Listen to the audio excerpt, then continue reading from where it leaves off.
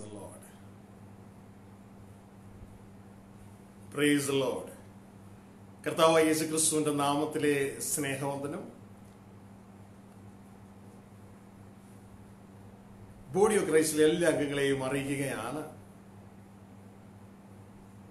പ്രിയരെ വീണ്ടും ദൈവത്തിന്റെ വചനവുമായി ദൈവമൊരുക്കിയ ഈ മാധ്യമത്തിലൂടെ കാണുവാൻ സ്വർഗത്തിൽ ഇത് നമ്മളെ സഹായിച്ചു. സ്നേഹനിധിയായ ഒരു പിതാവ് നമുക്കുണ്ട്.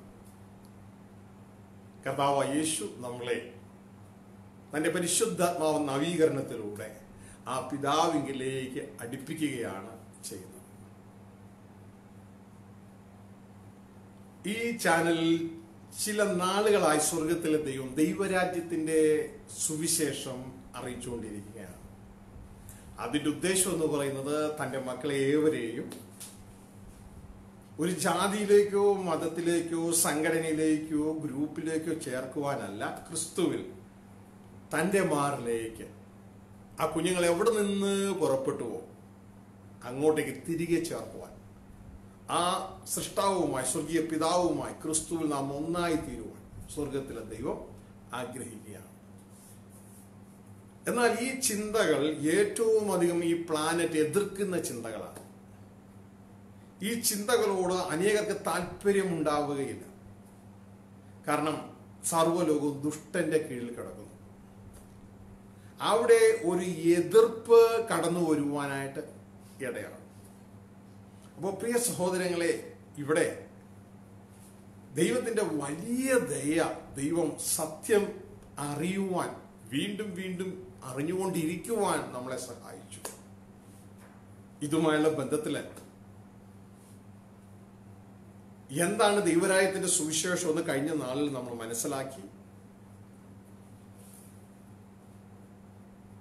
ആ ദൈവരായത്തിന്റെ സുവിശേഷത്തിന്റെ ക്രമീകരണം ഇതാണ്. ഇതൊരു മാനേജ്മെന്റ് ചേഞ്ച് ആണ്. ഒരു മാനേജ്മെന്റ് ചേഞ്ച് ഒരു സ്ഥാപനം ആ സ്ഥാപനത്തിൽ അതിന്റെ ഓണർ അതിന്റെ ഡയറക്ടർ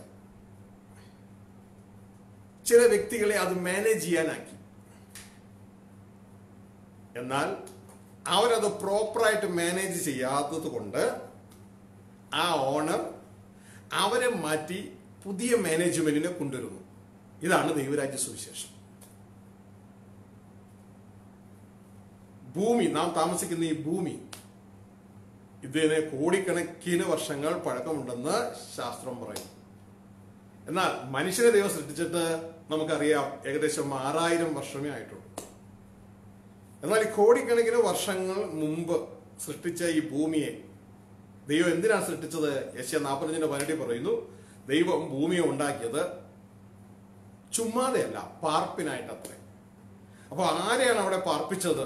എന്ന് എസ് കെയിൽ ഇരുപത്തെട്ടാം അധ്യായം പന്ത്രണ്ട് മുതൽ വായിക്കുമ്പോൾ അവിടെ കാണാൻ പറ്റും. കെരൂബുകളെയാണ്. നീ ചിറക് വിടർത്തി മറയ്ക്കുന്ന കെരൂബാണ് നിന്നെ ഞാൻ ഏതനിൽ ആക്കിയിരുന്നു. അപ്പോൾ തന്നെ നിന്റെ ആ ഭരണസ്ഥലം എന്ന് പറയുന്നത് ജെറുസലേമാണ് സിയോനാണ്.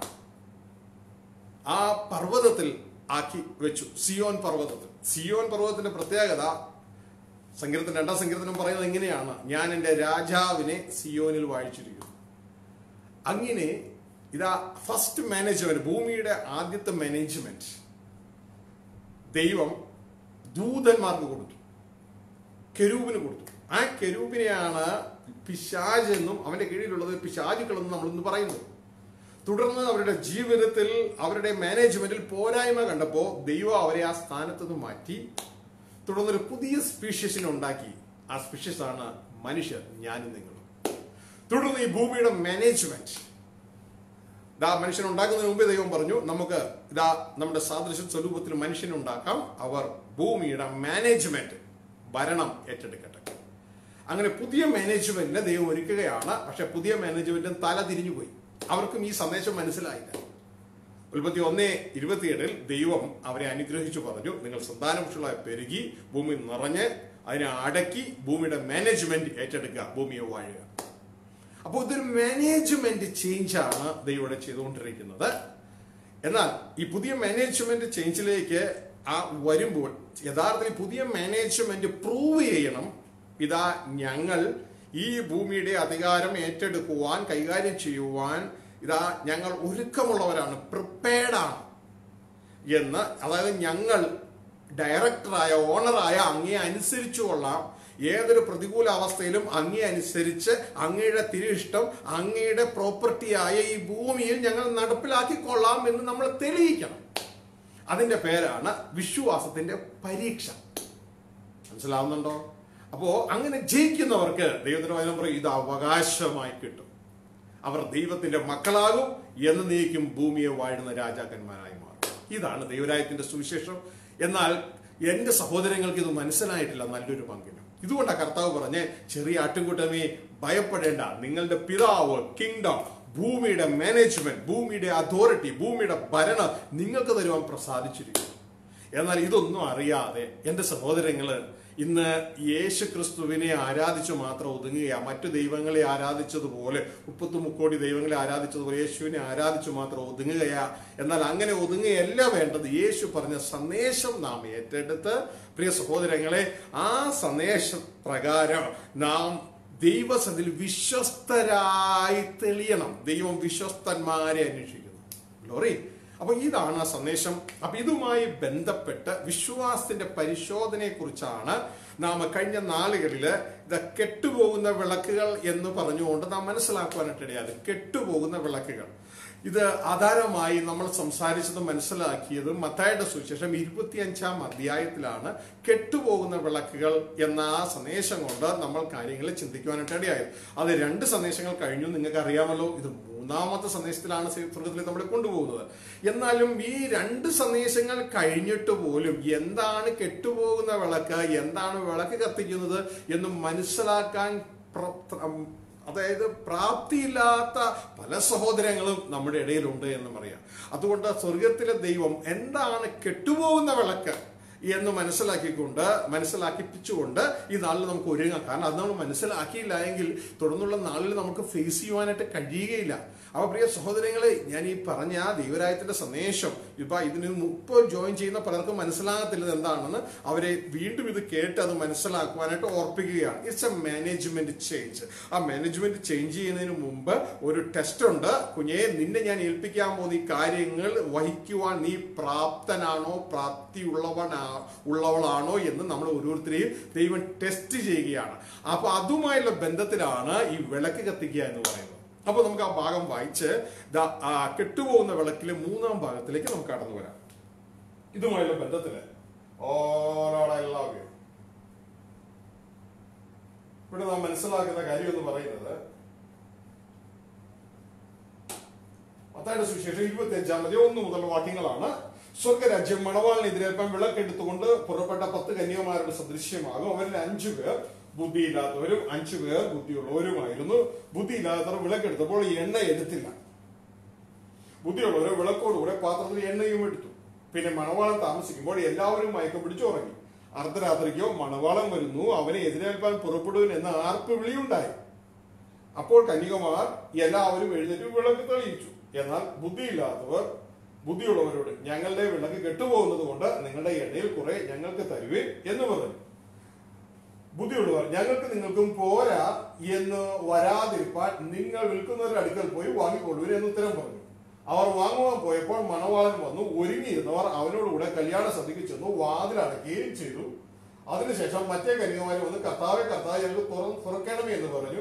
അതിനെ അവൻ ഞാൻ നിങ്ങളെ അറിയുന്നില്ല സത്യമായിട്ട് നിങ്ങളോട് പറയുന്നു എന്ന് പറഞ്ഞു. ആകിയാൽ നാല് നാഴികയെ നിങ്ങൾ അറിയേ കൊണ്ട് ഉണർന്നിരിപ്പേൻ എന്ന് പറഞ്ഞു. അപ്പോ പ്രിയ സഹോദരങ്ങളെ ഇവിടെ നമുക്ക് കാണാൻ പറ്റും പത്തു പേരാണ് ഇതാ വിളക്കെടുത്തത്. വിളക്ക് കാണിക്കുന്നത് വേറൊന്നുമല്ല. ഇതാ നമ്മൾ ഈ വിളക്ക് മേടിക്കുന്നത് എന്തിനു വേണ്ടിയാണ് കത്തിക്കാനല്ലേ. അപ്പോ ആ വിളക്ക് മേടിച്ച് കത്തിക്കുന്ന ഉപയോഗം അതിന് നടക്കുന്നില്ല. അങ്ങനെ ഒരു ഗ്രൂപ്പ്. കത്തിക്കുന്ന ഉപയോഗം നടക്കുന്ന വേറൊരു ഗ്രൂപ്പ് വിളക്കെടുത്തു എന്ന് കാണിക്കുന്നത് നാം ഓരോരുത്തരും ഈ ലോകത്തിന്റെ പ്രകാശമായി തീരുവാൻ സ്വർഗത്തിലെ ദൈവത്തിന്റെ ചിന്തകളെ ഈ ഭൂമിയിലേക്ക് പ്രകാശിപ്പിക്കുവാൻ നമ്മുടെ ജീവിതത്തിലൂടെ നമ്മളുടെ പ്രവൃത്തിയിലൂടെ വാക്കുകളിലൂടെ ദൈവത്തിന്റെ ചിന്തകളെ ഭൂമിയിലേക്ക് പ്രകാശിപ്പിക്കുവാൻ തക്കവണ്ണം നമ്മൾ ഇതാ ദൈവസന്നിധിയിൽ തീരുമാനമെടുക്കുക അപ്പോൾ തന്നെ നമ്മളുടെ മരണം ആദത്തിന്റെ പാപനിമിത്തമുള്ള ആത്മമരണം അത് നമ്മുടെ ജീവിതത്തിൽ മാറിക്കിട്ടും. എപ്പോ? യേശു കർത്താവിനെ രക്ഷിതാവായി സ്വീകരിക്കുമ്പോൾ. യേശു കർത്താവിനെ രക്ഷിതാവായി സ്വീകരിക്കുമ്പോഴാണ് നാം വിളക്ക് എടുക്കുന്നത്. തുടർന്ന് ഇതാ വിളക്ക് മാത്രം പോരല്ലോ. അത് കത്തണമെങ്കിൽ എണ്ണയും കൂടി വേണ്ടേ? എണ്ണ ഇവിടെ കാണിക്കുന്നത് ഒരുക്കത്തെയാണ്. ഒരുക്കുന്നത് പരിശുദ്ധാത്മാവാണ്. എണ്ണ പരിശുദ്ധാത്മാവല്ല. എന്നാൽ എണ്ണ തരുന്നത് എണ്ണ ഒരുക്കിയെടുക്കുന്നത് പരിശുദ്ധാത്മാവാണ്. അപ്പോൾ പരിശുദ്ധാത്മാവിന്റെ നവീകരണത്തിലൂടെ നാം ഇന്ന് നവീകരിക്കപ്പെടണം. യേശു കർത്താവിന്റെ ഫ്ലോ ഇങ്ങനെയാണ്. ഇതാ ദൈവരാജ്യത്തിന്റെ സുവിശേഷം നാം കേൾക്കുന്നു. തുടർന്ന് ആ വാഗ്ദത്തം ദൈവരാജ്യം അവകാശമാക്കുവാൻ യേശു ക്രിസ്തുവിൽ അടിസ്ഥാനമിട്ട് പണി ആരംഭിക്കുന്നു. തുടർന്ന് പരിശുദ്ധാത്മാവിന്റെ നവീകരണത്തിലൂടെ ആ അവകാശത്തിലേക്ക് എത്തുന്നു. അപ്പോ ദൈവരാജ്യ സുവിശേഷം കേട്ട് ഇതാ ദൈവരാജ്യം സമീപിച്ചിരിക്കുന്നു. നിങ്ങൾ മാനസാന്തരപ്പെടുവേൻ. എങ്കിൽ എന്ത് കിട്ടും? വാഗ്ദത്തമായ ആ സ്വർഗീയ ഭവനം നിങ്ങൾക്ക് അവകാശമാകും. ആ പിതാവിനോട് നിങ്ങൾക്ക് ചേരുവാൻ കഴിയും. അതെങ്ങനെ പറ്റും? ഇതാ യേശു എന്ന എന്നിൽ അടിസ്ഥാനമിടുക ഞാൻ നിങ്ങളുടെ പാപങ്ങൾക്ക് വേണ്ടി കാൽവരി ക്രൂശിൽ യാഗമായി. അത് നിങ്ങൾ വിശ്വസിച്ച് ഏറ്റുപറയ എന്നെ കർത്താവ് ഏറ്റുപറഞ്ഞ ഇതാ വിളക്കെടുത്തു. തുടർന്ന് എണ്ണ എങ്ങനെയാണ്? പരിശുദ്ധാത്മാവ് നവീകരണം. ദൈവത്തിന് വചനം പറയുന്നു പരിശുദ്ധാത്മാവിന്റെ നവീകരണത്തിലൂടെ നമുക്ക് ഒരുക്കം നമ്മുടെ ഉൾത്തലങ്ങളിൽ ഒരുക്കം നടക്കുന്ന ഒരു കാലമാണ്. ഞാൻ വളരെ സന്തോഷിക്കുന്ന ഒരു പീരീഡ് ഉണ്ട് ഭൗതികമായി ഒരു ക്രൈസിസ് തന്നെയാണ് ഇപ്പോൾ ലോകത്തെല്ലായിടത്തും എന്നാൽ അപ്പോൾ തന്നെ ഉൾത്തളത്തിൽ നമ്മുടെ അകത്തളത്തിൽ ഒരു ആത്മീക സമൃദ്ധിയാണ്. എല്ലാവർക്കും എന്റെ ഞാൻ എന്നെ സംബന്ധിച്ച് ഈ പറയുന്നത് ഒരു ആത്മീക സമൃദ്ധിയാണ് അകത്തളത്തിൽ കാരണം ഇതുവരെ തരാത്ത വെളിപ്പാടുകളുടെ ഒരു സമൃദ്ധിയിലേക്ക് സ്വർഗത്തിലെ ദൈവം കൊണ്ടുപോവുകയാണ് ചെയ്തത്. അപ്പോൾ പ്രിയ സഹോദരങ്ങളെ ഇതുമായുള്ള ബന്ധത്തിൽ ഒരു ഒരുക്കം പരിശുദ്ധാത്മാവിന്റെ നവീകരണത്തിനുള്ള ഒരു ഒരുക്കം ആവശ്യമാണ് ഇത് അതെങ്ങനെയാണ് നിങ്ങൾ ചിന്തിക്കും? വെളിപ്പാട് ദിവസം രണ്ടാം അധ്യായം മൂന്നാം അധ്യായം വായിക്കുമ്പോൾ നിങ്ങൾക്ക് എല്ലാവർക്കും മനസ്സിലാക്കാനായിട്ട് കഴിയും. ആത്മാവ് സഭകളോട് പറയുന്നത് എന്തെന്ന് ചെവിയുള്ളവൻ കേൾക്കട്ടെ. അപ്പോ ആത്മാവ് സഭകളോട് പറയുന്നത് എന്തെന്ന് ചെവിയുള്ളവൻ കേൾക്കാൻ പറഞ്ഞ എന്റെ പ്രിയ സഹോദരങ്ങൾ ഞാൻ നിങ്ങളോടൊന്ന് ചോദിച്ചോട്ടെ? ഈ ആത്മാവ് പറയുന്നത് നിങ്ങൾ കേൾക്കുന്നുണ്ടോ? കേൾക്കുന്നില്ല എങ്കിൽ പിന്നെ എങ്ങനെയാണ് നിങ്ങൾ എണ്ണ സംഭരിക്കുന്നത്. പരിശുദ്ധാത്മാവ് നമ്മളെ ഒരുക്കം എന്ന എണ്ണ സമ്പാദിക്കുവാനായിട്ട് സഹായിക്കുന്നു. ബുദ്ധിയുള്ളവർ അത് അതും കൂടി ചെയ്യും. മറ്റവർ അങ്ങനെയല്ല യേശുവിനെ രക്ഷിതാവായി സ്വീകരിച്ച് എന്ന് ഇന്ന് ലോകത്ത് കേൾക്കുന്നത് പോലെ ഒരു ആരാധന സർവീസ് കൊണ്ട് അവർ അവസാനിപ്പിക്കുകയാണ്. പിന്നെ പ്രാർത്ഥനയും ഉണ്ടവർക്ക് എനിക്ക് അത് തരണേ ഇത് തരണേ ആ പ്രശ്നമുണ്ട് ഈ പ്രശ്നമുണ്ട് അത് മാറ്റണേ. പ്രിയ കുഞ്ഞുങ്ങളെ അവിടെ ഒന്നും ഒതുക്കരുത്. പകരം എണ്ണ എടുക്കാനായിട്ട് തയ്യാറാണ്. എണ്ണ ഇല്ല എങ്കിൽ അവസാനം നമുക്ക് ജയം പ്രാപിക്കുവാൻ കഴിയുകയില്ല. അപ്പോ എണ്ണ എടുത്തവർ ഒരു പ്രതികൂല സാഹചര്യം വരികയാണ്. ആ പ്രതികൂല സാഹചര്യം എന്ന് പറയുന്നത് ശരിക്കും പറഞ്ഞാൽ കർത്താവ് വരുന്നു എന്ന ആർപ്പുവിളിയാണ്. അപ്പൊ കർത്താവ് വരുന്നു എന്ന ആർപ്പുവിളിയിൽ ശരിക്കും പറഞ്ഞാൽ നമുക്ക് നമ്മളിന്ന് ലോകത്തെല്ലാം കേൾക്കുന്നത് കർത്താവ് വരുമ്പോ ഇങ്ങനെ അങ്ങ് പോയാ മതി മുകളിലേക്ക്. പക്ഷേ ശരിക്കും ബൈബിൾ പറയുന്ന കർത്താവ് വരുന്നു എന്ന് പറയുമ്പോൾ നമ്മൾ യഥാർത്ഥത്തിൽ എന്താ കേൾക്കണം നമ്മൾ ചെയ്യേണ്ടതെന്ന് അറിയാമോ? പോവുകയല്ല വിളക്ക് കത്തിച്ച് കാണിച്ചു കൊടുക്കണം. വിളക്ക് കത്തിക്കണം. അപ്പോ വിളക്ക് കത്തിയിട്ട് കത്തിയിട്ട് കെട്ടുപോയാൽ അവർക്ക് പോകാൻ പറ്റില്ല. അവർ കിണ്ടത്തിൽ നിന്ന് പുറത്തു പോകും. പക്ഷെ കത്തി നിന്നാൽ അവർ കർത്താവിന്റെ കിണ്ടത്തിലേക്ക് കയറാം. ഇതാണ് ആ പാരബിളിന്റെ സന്ദേശം. അത് എന്റെയും പാരബിളാണ് മനസ്സിലാവുന്നുണ്ടോ? കത്തി നിൽക്കണം. അപ്പൊ കത്തി നിൽക്കുക എന്ന് പറഞ്ഞാൽ നമ്മുടെ വിശ്വാസത്തിന്റെ പരിശോധനയിൽ നാം ഇതാ തോറ്റുപോകരുത് നിലനിൽപ്പാൻ ഇടയാണ് പുറത്തുനിന്ന് വരുന്ന പ്രഷർ ആ പ്രഷർ കൊണ്ട് നമ്മളുടെ അകത്തെ വിശ്വാസം തകർന്നു പോകരുത്. വിശ്വാസം തകർന്നു പോകരുത്. അപ്പൊ പ്രിയ സഹോദരങ്ങളെ കഴിഞ്ഞ രണ്ട് സന്ദേശങ്ങൾ നിങ്ങൾ വീണ്ടും വീണ്ടും കേൾക്കുക. അതിൽ പുറത്തുനിന്ന് വരുന്ന വിഷയങ്ങൾ പ്രശ്നങ്ങൾ അത് നമുക്ക് ചോദ്യങ്ങളാണ്. ആ ചോദ്യങ്ങൾക്ക് നമ്മുടെ ജീവിതത്തിലൂടെ നമ്മൾ ഉത്തരം എഴുതണം. മനസ്സിലായോ? പേന കൊണ്ടും പെൻസിൽ കൊണ്ടോ അല്ല ജീവിതത്തിലൂടെ ഉത്തരം എഴുതണം. അപ്പോ ഇത് സ്വർഗത്തിലെ ദൈവം നമുക്ക് അറിയിച്ചു തരുന്ന കാര്യമാണ്. അപ്പൊ ഇത് അറിയിച്ചിട്ട് നമ്മൾ അറിഞ്ഞില്ല എന്ന് പറഞ്ഞു പോയാൽ നമുക്ക് തന്നെ നഷ്ടം. ഇതുമായ ബന്ധത്തിൽ കഴിഞ്ഞ ഒരു ദിവസം നടന്നൊരു സംഭവം സ്വർഗത്തിൽ എന്നെ ഓർപ്പിക്കുന്നു. അതായത് ഏകദേശം ഒരു മാസങ്ങൾക്ക് മുമ്പ് ഈ ലോക്ക്ഡൗൺ തുടങ്ങുന്നതിന് മുമ്പ് എന്റെ മോൾ പന്ത്രണ്ടാം ക്ലാസ് പഠിക്കുക. മോൾ മാത്തമാറ്റിക്സ് എക്സാം കഴിഞ്ഞ് തിരിച്ചു വരും. തിരിച്ചു വന്ന് വീട്ടിലേക്ക് കയറിയപ്പോൾ ഒരല്പ സങ്കടത്തിലാണ് കയറുന്നത്. അപ്പോൾ ഇങ്ങോട്ടൊക്കെ കയറി വന്നപ്പോഴേ ഒരു കാര്യം പറഞ്ഞു. ആ പുസ്തകം ഒന്ന് നോക്കിയിട്ട് പോയാൽ മതിയായിരുന്നു എന്ന അർത്ഥത്തിൽ അപ്പൊ ഏത് പുസ്തകമാണ് പെട്ടെന്ന് പറയുന്നത് ഏതോ ഒരു ശർമ്മ ആർ ഡി ശർമ്മ. ആ പുസ്തകത്തിൽ അതൊരു ഒരു ഗൈഡാണ് സോൾഡ് ക്വസ്റ്റ്യൻസ് അതിൽ കൊടുത്തിട്ടുണ്ട്. അതൊന്ന് നോക്കിയിട്ട് പോയാൽ മതിയായിരുന്നു. അതിൽ പറഞ്ഞതൊക്കെയാ വന്നേക്കണേ. യോ എന്റെ ബ്രദർ എന്നോട് പറഞ്ഞതാ. എന്റെ മോക്ക് എന്റെ എനിക്കൊരു മോനും മോളും ആൾ അപ്പോൾ മോൻ ഓൾറെഡി നാല് വർഷം മുമ്പ് പാസ്സായി പോയതാ. അപ്പോൾ ആ എന്റെ ബ്രദർ എന്നോട് പറഞ്ഞതാ. ഞാൻ അത് നോ ഞാനത് നോക്കി പോയില്ല. അത് നോക്കി പോയാൽ മതിയായിരുന്നു. അപ്പൊ ശ്രദ്ധിച്ചേ പ്രിയ സഹോദരങ്ങളെ. ഇതേപോലെ ഇനി ഫ്യൂച്ചറിൽ പലരും പറയും ആർ ഡി ശർമ്മയുടെ പുസ്തകമല്ല ഇതാ യേശു ക്രിസ്തുവിന്റെ ഒരു പുസ്തകമുണ്ട് വെളിപ്പാട് പുസ്തകം. യേശു ക്രിസ്തുവിന്റെ വെളിപ്പാട് പുസ്തകം. ആ യേശു ക്രിസ്തുവിന്റെ വെളിപ്പാട് പുസ്തകത്തിൽ ആർ ഡി ശർമ്മയല്ല യേശു ക്രിസ്തു നേരിട്ട് നമ്മളോട് ഇതാ അനേകം ചോദ്യങ്ങളൊന്നും പറഞ്ഞിട്ടില്ല. എൻ ടൈമിൽ നമ്മൾ ഫേസ് ചെയ്യേണ്ട രണ്ടേ രണ്ട് ക്വസ്റ്റ്യൻസ് മുമ്പിൽ വരുന്നു. പ്രധാനപ്പെട്ട രണ്ട് ക്വസ്റ്റ്യൻസ് വേറെ ഇല്ലെന്നല്ല പ്രധാനപ്പെട്ട രണ്ട് ക്വസ്റ്റ്യൻസ് ആർ ഡി ശർമ്മയുടെ പുസ്തകത്തിൽ അനേക ആയിരക്കണക്കിന് സോൾവ്ഡ് ക്വസ്റ്റ്യൻസ് കൊടുത്തിട്ടായിരിക്കും അതിൽ മൂന്നോ നാലോ എണ്ണം വന്നത്. പക്ഷെ യേശു ക്രിസ്തുവിന്റെ വെളിപ്പാട് പുസ്തകം എന്ന സോൾവ്ഡ് ബുക്ക് ആ ക്വസ്റ്റ്യൻസ് സോൾ ക്വസ്റ്റ്യനും കൊടുത്തിട്ടുണ്ട്. എങ്ങനെ സോൾവ് ചെയ്യണമെന്ന് അതിൽ കൊടുത്തിട്ടുണ്ട്. അപ്പൊ ഈ രണ്ട് ക്വസ്റ്റ്യനുകൾ നമുക്ക് വരാൻ പോകുന്ന പരീക്ഷയുടെ ആ പോരാട്ടത്തിന്റെ രണ്ട് ക്വസ്റ്റ്യനുകൾ അവൾ ഓൾറെഡി കൊടുത്തിട്ടുണ്ട്. ആ ക്വസ്റ്റ്യനുകൾ അവിടെ കൊടുത്തിട്ടും ഞങ്ങളത് കണ്ടില്ല ഞങ്ങളത് കേട്ടില്ല ഞങ്ങളത് അറിഞ്ഞില്ല എന്നും പറഞ്ഞ് നടക്കുന്ന വലിയൊരു സമൂഹമാണ് എന്റെ സഹോദരങ്ങളിൽ നല്ലൊരു പങ്ക്. ഞങ്ങൾക്ക് ആ പരീക്ഷയേ ഇല്ല എന്ന് പറഞ്ഞ് നടക്കുന്ന ഒരു സഹോദരങ്ങളാണ് നല്ലൊരു പങ്ക്. അപ്പോ യഥാർത്ഥത്തിൽ എന്റെ മോളോ എന്ന് പറഞ്ഞതുപോലെ അവസാനം അവർ പറയാനായിട്ട് ഇടയാകരുത്.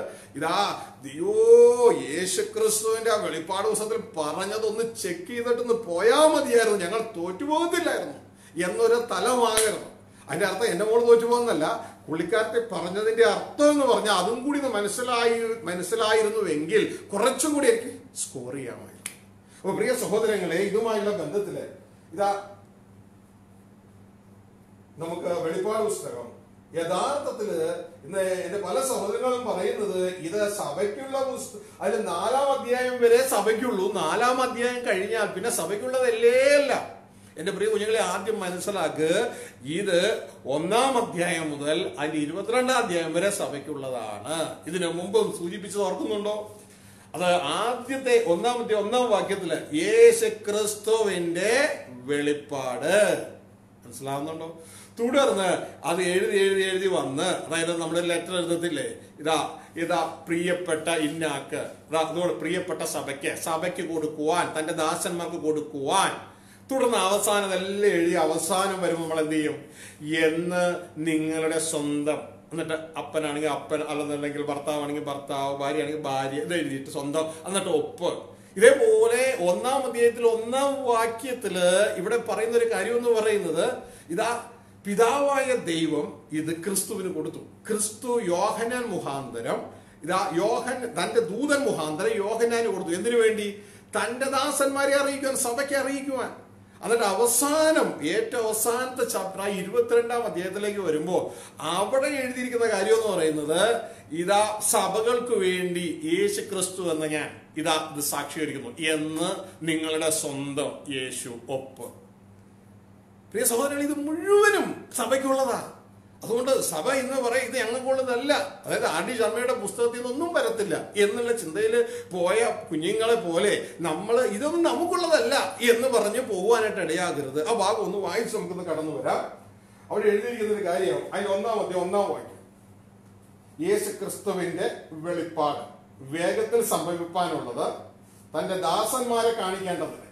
അപ്പോ തന്റെ ദാസന്മാരെ സഭയിലുള്ളവരെ കാണിക്കേണ്ടതിന് ദാസന്മാർ വേണമെങ്കിൽ സഭയിലുള്ളവരെ കാണിക്കാൻ കാണിക്കേണ്ടത് ദൈവം അത് അവന് കൊടുത്തു.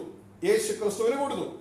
അവൻ യേശു ക്രിസ്തു ദൂതൻ ദൂതന്മാ ദൂതൻ മുഖാന്തരം അയച്ച് തന്റെ ദാസനായ യോഹനാൻ പ്രദർശിപ്പിച്ചു. യോഹനാൻ നമുക്ക് അറിയിച്ചു. മനസ്സിലാവുന്നുണ്ടോ? അപ്പൊ പ്രിയരെ ഇനി അവിടെ നിന്ന് വന്നിട്ട് തുടർന്ന് ഏറ്റവും അവസാന അധ്യായമാണ് ഇരുപത്തിരണ്ടാം അധ്യായം. അപ്പൊ ലെറ്റർ തുടങ്ങി. ഈ ലെറ്റർ തുടങ്ങിയതിന് ശേഷം ഇതിനായിട്ട് പതിനാറാം വാക്യത്തിലേക്ക് കടന്നു വരുമ്പോ അവസാനം യേശു പറയുന്ന ഒരു കാര്യം എന്ന് നിങ്ങളുടെ സ്വന്തം എന്ന് പറഞ്ഞ് ഒപ്പിടത്തില്ലേ? ഇതാ യേശു പറയാണ് യേശു എന്ന ഞാൻ സഭകൾക്ക് വേണ്ടി.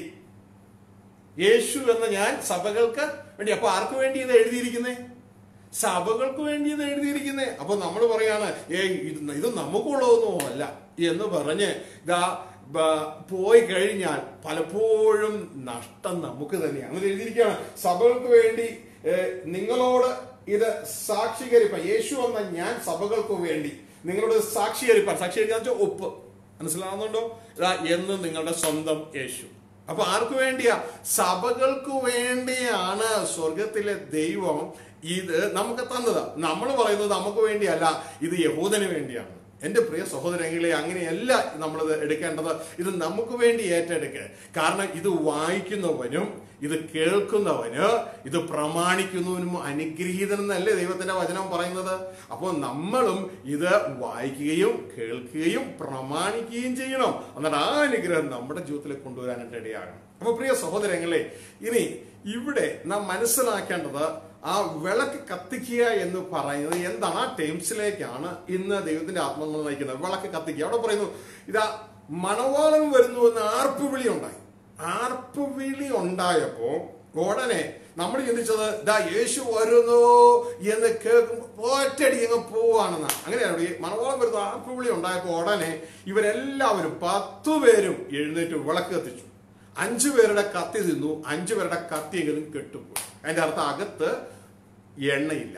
ഒരു പരിശുദ്ധാത്മാവിന്റെ നവീകരണം അവരുടെ ജീവിതത്തിൽ നടന്നിട്ടില്ല. ആത്മാവിന്റെ സ്വരം അവർക്ക് ഇന്നുവരെ കേൾക്കാൻ പറ്റിയിട്ടില്ല. അവർ ഇതാ ദൈവത്തിന്റെ വചനം റോമ എട്ടിന്റെ വന്നാലേ പറയുന്നു ആത്മാവിന് ഏതാത്മാവിനെ ദൈവാത്മാവിനെ അനുസരിച്ച് നടക്കുന്നവരാണ് ദൈവത്തിന്റെ മക്കൾ. പ്രിയരെ എന്റെ സ്നേഹിതരെ എന്റെ സഹോദരങ്ങളെ ഈ ദൈവാത്മാവിനെ കേൾക്കാൻ ഇതുവരെ നിങ്ങൾക്ക് പറ്റിയിട്ടുണ്ടോ? നിങ്ങൾ ഈ കേൾക്കുന്ന സന്ദേശങ്ങളൊക്കെ എനിക്ക് എവിടെ നിന്ന് മാനത്തുനിന്ന് വരുന്നൊന്നുമല്ല. എല്ലാം ദൈവത്തിന്റെ ആത്മാവ് തരുന്നതാണ് അപ്പോൾ തന്നെ ധാരാളം നല്ല ദേവദാസന്മാർ ഞാൻ കഴിഞ്ഞ നാളിൽ കേട്ടിട്ടുണ്ട്. അങ്ങനെയുള്ള ചിന്തകളും കൂടെ ഇതാ ഇപ്പോഴും ഞാൻ നല്ല ദേവദാസന്മാരെ കേൾക്കാറുണ്ട്. അങ്ങനെയുള്ള ചിന്തകളും കൂടി ഇതിന് മിക്സ് ആയിട്ട് കടന്നു വരാം. അപ്പോൾ പ്രിയ സഹോദരങ്ങളെ ഇതെല്ലാം ഇതിന്റെ ഉദ്ദേശം എന്ന് പറയുന്നത് നമുക്കൊരു സാമ്രാജ്യം ഉണ്ടാക്കാനോ ആരെയും നമ്മുടെ കൂട്ടത്തിൽ ചേർക്കാനോ ഒരു മതത്തിൽ ചേർക്കാനോ ഒന്നുമല്ല. നമ്മളെ എല്ലാവരെയും ആ ക്രിസ്തുവിലൂടെ പിതാവിന്റെ മാറിലേക്ക് ക്രിസ്തു ആയിരിക്കുന്ന സ്ഥലത്തേക്ക് നമ്മളും എത്തിച്ചേരണം. യേശു പറഞ്ഞു കേട്ടിട്ടില്ലേ? പിതാവേ ഞാൻ അങ്ങിലും അങ്ങെന്നിലും എന്നിലുമായിരിക്കുന്നത് പോലെ ഇവർ നമ്മിലും ഒന്നായി ചേർന്ന കാലസമ്പൂർണ വ്യവസ്ഥയിൽ അതിലേക്ക് നമ്മൾ ഏവരും വരുവാനായിട്ട് ഇടയാകണം. ഇതാ ഞാൻ പറയുന്നതിനോടൊന്നും നിങ്ങൾ കൂടാൻ ഞാൻ പറയുന്നില്ല. പകരം ഞാൻ എപ്പോഴും എന്താ പറയണേ? പ്രിയരേ ഈ വചനത്തോട് ചേരെ വചനത്തോട് ചേരെ വചനത്തോട് ചേരെ. അപ്പോ ഈ എന്താണ് വിളക്ക് കത്തിക്കുക എന്നുള്ളതിന്റെ ആഴത്തിലേക്ക് ഒന്ന് കടന്നു വരികയാണ്. വിളക്ക് കത്തിക്കുക എന്ന് പറഞ്ഞാൽ ഇതാ ജീവിതത്തിലെ പ്രതികൂല സാഹചര്യങ്ങൾ പലതും വരും. അനുകൂലമായാലും പ്രതികൂലമായാലും നമ്മളുടെ പ്രവൃത്തിയിലൂടെയും നമ്മുടെ വാക്കിലൂടെയും നമ്മൾ യേശു കർത്താവാണ് എന്റെ തല എന്ന് അല്ലെങ്കിൽ യേശുവാണ് എന്റെ കർത്താവ് എന്ന് നാം രക്ഷിക്കപ്പെട്ടപ്പോൾ വിളക്കെടുത്തപ്പോൾ പറഞ്ഞത് നാം തെളിയിക്കണം ലോകത്തിന്റെ മുമ്പാകെ. നാം അത് ലോകത്തിന് മുമ്പാകെ തെളിയിക്കുമ്പോൾ ഇന്ന് യേശു ചെയ്യുന്ന ശുശ്രൂഷ എന്ന് പറയുന്നത് ഇതാ നമ്മളുടെ മഹാപുരോഹിത സ്ഥാനം അലങ്കരിക്കുകയാണ്. He is the high priest of our confession നമ്മൾ എന്താണോ നമ്മളുടെ പ്രവൃത്തിയിലൂടെ വാക്കിലൂടെ പറയുന്നത് അത് യേശു ക്രിസ്തു പിതാവിന്റെ മുമ്പാകെ ഏറ്റു പറയും നമ്മൾ ഒരു നുണയാണ് പറയുന്നതെങ്കിൽ യേശു ക്രിസ്തു പിതാവിന്റെ മുമ്പാകെ അത് ഏറ്റു പറയാൻ എങ്ങനെ കഴിയും? അങ്ങനെയെങ്കിൽ നമ്മൾ ഇതാ ഡിസ്ക്വാളിഫൈ ആവും. നമ്മൾ സത്യമാണ് നമ്മൾ പറയുന്നതെങ്കിൽ പ്രിയ സഹോദരങ്ങളെ യേശു ക്രിസ്തു വളരെ സന്തോഷിച്ച് അത് പിതാവിന്റെ മുമ്പിൽ ഏറ്റു പറയും നമ്മുടെ പ്രവൃത്തി ഇതാ ബോഡി ഓഫ് ക്രൈസ്റ്റിനും മറ്റുള്ളവർക്ക് നന്മയാണ് എങ്കിൽ യേശു ക്രിസ്തു അത് പിതാവിന്റെ മുമ്പാകെ ഏറ്റു പറയും നമ്മുടെ പ്രവൃത്തി ഇതാ മറ്റുള്ളവരുടെ മുമ്പിൽ തിന്മയാണ് മറ്റുള്ളവരെ പരവിക്കുകയാണ് ദുഷിക്കുകയാണ് എങ്കിൽ യേശു ഹൃദയവ്യതയോടെ അത് പിതാവിന്റെ മുമ്പിൽ ഏറ്റു പറയാൻ ഇതാ എങ്ങനെ കഴിയും? പക്ഷേ അതെല്ലാം പിശാജ് പിതാവിന്റെ മുമ്പിൽ ഏറ്റു പറയും അപ്പൊ പ്രിയ സഹോദരങ്ങളെ ഇനി ഇവിടെ നാം മനസ്സിലാക്കേണ്ടത് നമ്മളുടെ വിശ്വാസത്തിന്റെ പരിശോധനയിൽ നാം തോറ്റുപോകരുത് നാം ജയിക്കണം. അപ്പൊ ഇന്ന് യേശു ചെയ്യുന്ന ശുശ്രൂഷ എന്തെന്ന് മനസ്സിലാക്കണം. ഇന്ന് യേശു ചെയ്യുന്ന ശുശ്രൂഷ കാൽവരി ക്രൂശിൽ മരിക്കുകയല്ല. അത് ഒരു പ്രാവശ്യം ചെയ്ത് കഴിഞ്ഞു. ഇനി വീണ്ടും വീണ്ടും യേശു ക്രൂശിക്കപ്പെടേണ്ട ആവശ്യമില്ല. പക്ഷെ ഇന്ന് എന്ത് ചെയ്യുന്നു? ദൈവത്തിന്റെ വചനം പറയാണ് കാൽവരി ക്രൂശിലെ യാഗത്തിൽ ഇതാ തന്റെ രക്തത്തിലൂടെ ഇതാ തന്റെ ജനത്തെ സമ്പാദിച്ചു. ജനത്തെ സമ്പാദിച്ചിട്ട് ഈ ജനവുമായി എങ്ങോട്ടാ കയറണമെന്നറിയാമോ? ഈ ജനത്തെ തന്നിൽ ഏറ്റെടുത്ത് ഇതാ ഒരു കൈപ്പണിയായ ദേവാലയത്തിലേക്കല്ല സ്വർഗത്തിലേക്ക് തന്നെയാണ് യേശു ക്രിസ്തു കയറുവാനായിട്ടിടയായത്. അങ്ങനെ കാൽവരി ക്രൂശിലെ യാഗം അതിൽ നമ്മൾക്ക് വേണ്ടി യേശു തകർക്കപ്പെട്ടു. നമ്മൾ യേശുവിനെ യഥാർത്ഥത്തിൽ അടിക്കുകയായിരുന്നു ചെയ്തത്. യഥാർത്ഥത്തിൽ അടി അതിനൊരു നിഴലാണ് നമുക്ക് കാണുവാനായിട്ട് കഴിയും. ഇസ്രായേൽ മക്കൾ ഇതാ മരുഭൂമിയിലൂടെ കനാൻ ദേശത്തേക്ക് യാത്ര ചെയ്യുകയാണ് ഇസ്രാ ഈജിപ്തിന്റെ അടിമത്തത്തിൽ നിന്ന്. അപ്പോൾ അവർക്ക് വെള്ളമില്ലാതെ വരുന്ന ഒരു സമയമുണ്ട്. അതൊക്കെ നമ്മൾ ദൈവം അല്ലെങ്കിൽ എടുത്തു വായിക്കും. ഇപ്പൊ ജനറൽ ആയിട്ട് നിങ്ങളൊന്ന് മനസ്സിലാക്കുക അതിനെ വെള്ളം ഇല്ലാതെ വരുന്നൊരു സമയമുണ്ട്. ആ വെള്ളമില്ലാതെ വരുന്നൊരു സമയത്ത് ഇതാ അവിടെ പറയുന്ന ഒരു കാര്യമുണ്ട്. ഇതാ യേശു ക്രിസ്തുവാണ് അവരെ അവരുടെ കൂടെ നടന്നത്. ഇത് അവർക്ക് അറിയത്തില്ല ഇന്ന് നമുക്കും അറിയത്തില്ല. പക്ഷെ യഥാർത്ഥത്തിൽ യേശു അവരുടെ കൂടെ ഉണ്ടായിരുന്നു. ഫസ്റ്റ് കുറഞ്ഞ പത്താം അധ്യായം പറയുന്ന ഒരു കാര്യം എന്ന് പറയുന്നത് ഇതാ അവരെ അനുഗമിച്ച ആത്മീക പാറയിൽ നിന്നല്ലോ അവർ കുടിച്ചത്. അവർ വെള്ളം കുടിച്ചു പക്ഷെ എവിടെ നിന്നാ കുടിച്ചേ? അവരെ അനുഗമിച്ച ആത്മീക പാറ ആ പാറ ക്രിസ്തു ആയിരുന്നു. അപ്പോ ക്രിസ്തു പുതിയ നിയമത്തിലെ ഒരു അവതാരമല്ല നേരത്തെ തന്നെ ഉണ്ട്. ഇതാ പ്രപഞ്ച സൃഷ്ടിക്ക് മുമ്പേ ഉള്ള ദൈവത്തിന്റെ വചനമാണ് വേടാണ് ക്രിസ്തു. അപ്പോ ഇതാ ദൈവം അവരോട് കൂടെ നടക്കുകയാണ്. എന്നിട്ട് അവിടെ പറയുന്ന ഒരു കാര്യമുണ്ട്. വെള്ളമില്ലാതെ വന്നപ്പോ ഇതാ ദൈവം അവരോട് പറയുന്ന ഒരു കാര്യമുണ്ട്. മോശയോട് പറയുന്ന ഒരു കാര്യം ഞാൻ പാറമേ നിൽക്കും. എന്നിട്ട് ഞാൻ പാറമേ നിൽക്കുമ്പോൾ നീ എന്ത് ചെയ്യണം? ആ പാറയെ അടിക്കണം. അപ്പൊ യഥാർത്ഥത്തിൽ നമ്മൾ ആരെ അടിക്കുന്നേ? ദൈവം പറയാം ഞാൻ പാറമേ നിൽക്കും. നീ ആ പാറമേൽ അടിക്കണം. അവരെ അനുഗമിച്ച ആത്മീയ പാറ ഏതാ? കർത്താവായ യേശു ക്രിസ്തു അപ്പോ യേശുക്രിസ്തു ആത്മമണ്ഡലത്തിൽ ആ പാറ നിൽക്കുകയാണ്. മോശ പാറയെ അടിക്കുകയാണ്. അടിക്കാൻ ദൈവം തന്നെ കൽപ്പിച്ചു. അടിക്കാൻ. ആ അടി ആ അടിച്ചതോടുകൂടി വെള്ളം പുറപ്പെട്ടു. പ്രിയ സഹോദരങ്ങൾ ഇതൊന്നിന്റെ നിഴലാണ്. എന്തിന്റെ നിഴല? കർത്താവ് യേശു നമ്മുടെ പാപങ്ങൾക്ക് വേണ്ടി ഇതാ കാൽവർ ക്രൂശിൽ കൊള്ളുന്ന അടിയെ കുറിച്ചാണ് ഈ കാണിക്കുന്നത്. ആ അടിയിലൂടെ ഇതാ അവിടുന്ന് വെള്ളം പുറപ്പെട്ടു. വെള്ളം പുറപ്പെട്ടപ്പോൾ യേശുവിന്റെ ആ ശുശ്രൂഷ കഴിഞ്ഞു. യേശുവിന്റെ ആ ശുശ്രൂഷ കഴിഞ്ഞിട്ട് ഒരിക്കലായിട്ടാണ് ക്രൂശിക്കപ്പെട്ടത്. വീണ്ടും വീണ്ടും ക്രൂശിക്കപ്പെടേണ്ട ആവശ്യമില്ല. തുടർന്ന് യേശു ക്രിസ്തു ഹെബ്രായ ലേഖനം ഒമ്പതാം അധ്യായം പറയുകയാണ് പിന്നെ നമുക്ക് വേണ്ടി പുതിയൊരു ശുശ്രൂഷ ആരംഭിക്കുക. മഹാപുരോഹിത ശുശ്രൂഷയുടെ ആരംഭം. ക്രിസ്തുവിന്റെ മഹാപുരോഹിത ശുശ്രൂഷയുടെ ആരംഭം അവിടെ നിന്ന് ആരംഭിക്കുകയാണ്. തുടർന്ന് നമുക്ക് വേണ്ടി ഇതാ സമാഗമന കൂടാര ഭൂമിയിലെ സമാഗമന കൂടാരത്തിലേക്കല്ല പ്രവേശിച്ച് സ്വർഗത്തിലേക്ക് തന്നെ പ്രവേശിച്ചു. നമുക്ക് വേണ്ടി മഹാപുരോഹിതനായിട്ട് അവിടെ പ്രവേശിക്കുകയാണ്. അവിടെ പ്രവേശിച്ചതിന് ശേഷം ഇനി ഉള്ള ശുശ്രൂഷ എന്ന് പറയുന്നത് സാധാരണ മഹാപുരോഹിതന്മാര് നമ്മൾ പഠിക്കുമ്പോൾ ഇതാ തന്റെ പാപത്തിന് വേണ്ടിയും ജനത്തിന്റെ പാപത്തിന് വേണ്ടിയും ഇതാ ആടുകളുടെയും അതോടൊപ്പം തന്നെ പശുക്കിടാങ്ങളുടെയും ഒക്കെ രക്തവുമായിട്ടാണ് ഇതാ ആ അതിപരിശ സ്ഥലത്തേക്ക് വർഷത്തിൽ ഒരിക്കൽ അതായത് ഡേ ഓഫ് അറ്റോൺമെന്റിൽ പ്രവേശിക്കുന്നത്. പാപപരിഹാര പെരുന്നാളിന്റെ ദിവസം അത് പ്രവേശിക്കുന്നത്. പക്ഷേ യേശു ക്രിസ്തു ആടുകളുടെ രക്തമല്ല പശുക്കിടാങ്ങളുടെ രക്തമല്ല തന്റെ സ്വന്തം രക്തത്താൽ ആ അതിപരിശുദ്ധ സ്ഥലമായ സ്വർഗത്തിലേക്ക് പിതാവിന്റെ സന്ധിയിലേക്ക് കയറി ചെന്നിട്ട് ഇന്നും അന്ന് മുതൽ ഇന്ന് വരെ മഹാപുരോഹിത ശുശ്രൂഷ നമുക്ക് വേണ്ടി ചെയ്യുകയാണ്. മലയാളത്തിൽ ഇത് വായിച്ചാൽ ഒട്ടും മനസ്സിലാകത്തില്ല. എന്ത് ശുശ്രൂഷ നമ്മൾ എഴുതിയിട്ടുണ്ട്? നമ്മൾ ഈ വചനമൊക്കെ എടുത്ത് വായിക്കും കേട്ടോ. എന്നാൽ ജനറൽ ആയിട്ട് നിങ്ങളൊന്ന് മനസ്സിലാക്കി പോ അവിടെ എഴുതിയിരിക്കുന്നത് he is the high priest of our confession നമ്മൾ എന്താണോ പറയുന്നത് എങ്ങനെ വാവുകൊണ്ട് മാത്രമല്ല ജീവിതത്തിലൂടെ പ്രവൃത്തിയിലൂടെ എന്താണോ പറയുന്നത് അത് യേശു ക്രിസ്തു പിതാവിന്റെ സന്നിധി അങ്ങ് പറയും. അങ്ങനെയെങ്കിൽ ആ ഒരു ശുശ്രൂഷയാണ് യേശുവിനുള്ളത്. He is the high priest of our confession ഇംഗ്ലീഷിൽ വായിക്കും. മലയാളത്തിൽ അത് നമുക്ക് മനസ്സിലാകത്തിന് ബുദ്ധിമുട്ടാണ്. അത് നമുക്ക് വായിക്കുക ഏതായാലും. അപ്പോ ഇങ്ങനെ ഏറ്റുപറയും. അപ്പോൾ യേശു ക്രിസ്തു നമ്മളുടെ പ്രവൃത്തി നല്ലതാണെങ്കിലും ചീയതാണെങ്കിലും ഇതാ പ്രിയ സഹോദരങ്ങളെ നല്ലത് ഇത് ഏറ്റുപറയാൻ എളുപ്പമാണ് ചീയത് ചെയ്യുമ്പോൾ ഇതാ പിന്നെ അവസാനം നമ്മളെ നമ്മൾ മനസ്സന്തരപ്പെടുത്തില്ലെങ്കിൽ തള്ളിക്കളയാതെ യാതൊരു നിവൃത്തിയും ഇല്ല. അപ്പോൾ പ്രിയ സഹോദരങ്ങളെ ഈ ഒരു ശുശ്രൂഷയാണെന്ന് യേശു ക്രിസ്തു ചെയ്തുകൊണ്ടിരിക്കുന്നത്. അപ്പോൾ അവസാന കാലയളവിലെ ആ രണ്ട് പ്രധാന സോൾവ്ഡ് ക്വസ്റ്റ്യൻസ് അതായത് എങ്ങനെ ഇത് സോൾവ് ചെയ്യണമെന്ന് ഓൾറെഡി പറഞ്ഞിട്ടുണ്ട്. ഈ രണ്ട് ക്വസ്റ്റ്യൻ നമുക്ക് നൽകിയിട്ടുണ്ട് അവസാന പരീക്ഷയിൽ അത് എല്ലാവർക്കും ഇത് അനുവദി അനുവദിച്ചിട്ടുള്ളതല്ല. ഹൈ ലെവൽ അതായത് രാജത്വത്തിന്റെ സുവിശേഷം കേട്ട പീരീഡിലുള്ള ജനത്തിന് മാത്രമേ ഈ ശുശ്രൂഷയുള്ളൂ. ആ ശുശ്രൂഷയിലേക്കാണ് ലോകം കടന്നു വരുന്നത് ഇന്ന് അതൊക്കെ ഇതൊക്കെ ഒന്ന് മനസ്സിലാക്കാൻ വേണ്ടിയാണ് ദൈവം ഇന്ന് നമുക്ക് ഈ സമയം അനുവദിച്ചിരിക്കുന്നത്. അപ്പോൾ ഈ രണ്ട് പ്രധാനപ്പെട്ട ക്വസ്റ്റ്യൻ കഴിഞ്ഞ രണ്ട് സന്ദേശങ്ങളിൽ പറഞ്ഞിട്ടുണ്ട്. അതിന്റെ മൂന്നാമത്തെ സന്ദേശമായത്. ആദ്യ സന്ദേശത്തിൽ ഇതാ ഒരു സെമി ഫൈനൽ എന്നുള്ള രീതിയിൽ നമ്മൾ ടൈറ്റിൽ കൊടുത്ത ഒരു ക്വസ്റ്റ്യൻ ഉണ്ട്. അത് പാസ്സായവർക്കാണ് രണ്ടാമത്തേത്. ഫൈനൽ എന്ന് പറഞ്ഞുകൊണ്ട് രണ്ടാമത്തെ ചോദ്യം. ചോദ്യം. ആ രണ്ട് ചോദ്യവും എങ്ങനെ അതിന് ഉത്തരം കൊടുക്കണമെന്ന് വിശുദ്ധ ബൈബിൾ നേരത്തെ നമ്മൾ കേട്ടല്ലോ ആർ ഡി ശർമ്മയുടെ പുസ്തകമല്ല യേശു ക്രിസ്തുവിന്റെ വെളിപ്പാട് പുസ്തകത്തിൽ അതിനെക്കുറിച്ചുള്ള ഡീറ്റെയിലുകൾ കൊടുത്തിട്ടുണ്ട്. അപ്പോൾ അത് നാം കേട്ട് അത് നാം മനസ്സിലാക്കി നമ്മുടെ ജീവിതമാകുന്ന ആ ആൻസർ ഷീറ്റിൽ നാം അത് എഴുതിയാൽ നമ്മുടെ ജയം പ്രാപിക്കും.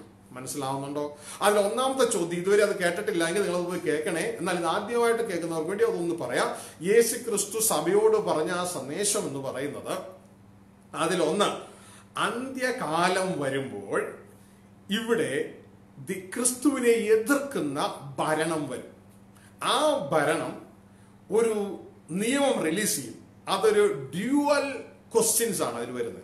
രണ്ട് നിയമങ്ങളാണ് ഒരൊറ്റ നിയമത്തിലൂടെ റിലീസ് ചെയ്യപ്പെട്ടത് അതിൽ ഒന്നാമത്തേത് ഇതാണ് ഈ സോറി ഈ നിയമം എന്തിനാണെന്നറിയാമോ? വിളക്ക് കത്തിക്കാൻ വേണ്ടിയാ. നമ്മൾ ഇത് ഇത് ദൈവം പറഞ്ഞ അനുസരിക്കുമോ ഇല്ലയോ എന്ന് അറിയാൻ വേണ്ടിയാണ് ഇത് കടന്നു വരുന്നത് അപ്പൊ പ്രിയ സഹോദരങ്ങളെ ആ നിയമത്തിൽ ഒന്ന് ഇതാണ്. ഒരു നിയമം വരുന്നു. വാങ്ങുകയും വിൽക്കുകയും ചെയ്യണമെങ്കിൽ ഗവൺമെന്റിന്റെ സ്പെഷ്യൽ മാർക്ക് ഇതാ നമ്മുടെ വലത് കൈയിലോ നെറ്റിമേലോ എടുത്തവർക്ക് ആ വാങ്ങാനും വിൽക്കാനും പറ്റുകയുള്ളൂ എന്ന ഒരു നിയമം വരുന്നു. ഇതാണ് ഒന്നാമത്തെ ചോദ്യം. അപ്പൊ തന്നെ ദൈവം മത്തായി കഥ ക്രിസ്തുവിന്റെ ആരുടെ ശർമ്മയല്ല ക്രിസ്തുവിന്റെ വെളിപ്പാട് പുസ്തകം പതിനാലാം അധ്യായത്തിൽ പറഞ്ഞിരിക്കുന്നു ആ ചോദ്യത്തിന് ഉത്തരവ് കൊടുത്തിട്ടുണ്ട് അവിടെ. ഈ മുദ്ര കടന്നു വരുമ്പോൾ എന്റെ ജനം ഇതെടുക്കരുത്. എടുത്തു കഴിഞ്ഞാൽ അവർ തീ പൊയ്കയിലേക്ക് പോകും. എടുക്കാതിരുന്നാൽ അവർ ജയം പ്രാപിക്കും. അപ്പോ ഇതിന് ഇതിൽ എന്ത് ചെയ്യണം എന്നുള്ള ഉത്തരവ് അവിടെ കൊടുത്തിട്ടുണ്ട്. ഈ ഉത്തരം നമ്മുടെ ജീവിതത്തിലൂടെ നമ്മൾ ചെയ്യണം. ഇനി അടുത്തത് ഇനി ഈ മുദ്ര എടുത്തില്ല എങ്കിൽ എന്താണ് സംഭവിക്കുന്നത് എന്ന് അടുത്ത ചോദ്യം. അതായത് ഫൈനൽ ഇത് ഒന്ന് സെമി ഫൈനൽ ആണെങ്കിൽ സെമി ഫൈനൽ കഴിഞ്ഞിട്ടാണല്ലോ ഫൈനലിലേക്ക് വരുന്നത്. ഇതെടുക്കാതിരുന്നാൽ രാജ്യത്തിന്റെ മറ്റൊരു നിയമമാണ് ഇതെടുക്കാത്തവനെ കൊല്ലണം. അപ്പോ ഇത് വെളിപ്പാട് ദിവസവും പതിനാല് പതിമൂന്നാം അധ്യായവും പതിനാലാം അധ്യായവും ചേർന്ന്. ഇതാ നമുക്ക് ആ ഭാഗം ഒന്ന് വായിക്കാം. നമ്മൾ ഇതിനു മുമ്പ് വായിച്ചിട്ടുള്ളതാണ് എങ്കിലും പ്രാധാന്യമുള്ളതാണല്ലോ. ഇവിടെ വെളിപ്പാട് പുസ്തകം പതിമൂന്നാം അധ്യായത്തിൽ അതിന്റെ പതിനഞ്ച് നിങ്ങൾ മുഴുവൻ വായിക്കുക. ഈ നാളുകളിൽ വെളിപ്പാട് ദിവസം നന്നായിട്ട് പഠിക്കുക നിങ്ങൾ. അവർ എഴുതിയിരിക്കുന്നു മൃഗത്തിന്റെ പ്രതിമ സംസാരിക്കേണ്ടതിന് മൃഗത്തിന്റെ പ്രതിമയെ നമസ്കരിക്കാത്തവരെ ഒക്കെയും കൊല്ലിക്കേണ്ടതിന് മൃഗത്തിന്റെ പ്രതിമയ്ക്ക് ആത്മാവിനെ അഹ് അതിന് അത് കള്ളപ്രവാചകന് ബലം ലഭിച്ചു. അത് ചെറിയവരും വലിയവരും സമ്പന്നന്മാരും ദരിദ്രന്മാരും സ്വന്തന്മാരും ദാസന്മാരും എല്ലാവർക്കും വലങ്കൈ മേലോ നെറ്റിമേലോ മുദ്ര കിട്ടുമാറാക്കും. മൃഗത്തിന്റെ പേരോ പേരിന്റെ സംഖ്യയോ ആയ മുദ്രയുള്ളവനല്ലാതെ വാങ്ങുകയോ വിൽക്കുകയോ ചെയ്യാൻ കഴിയാതെയാകുന്നു. അപ്പൊ കഴിയാതെയാവുന്നു.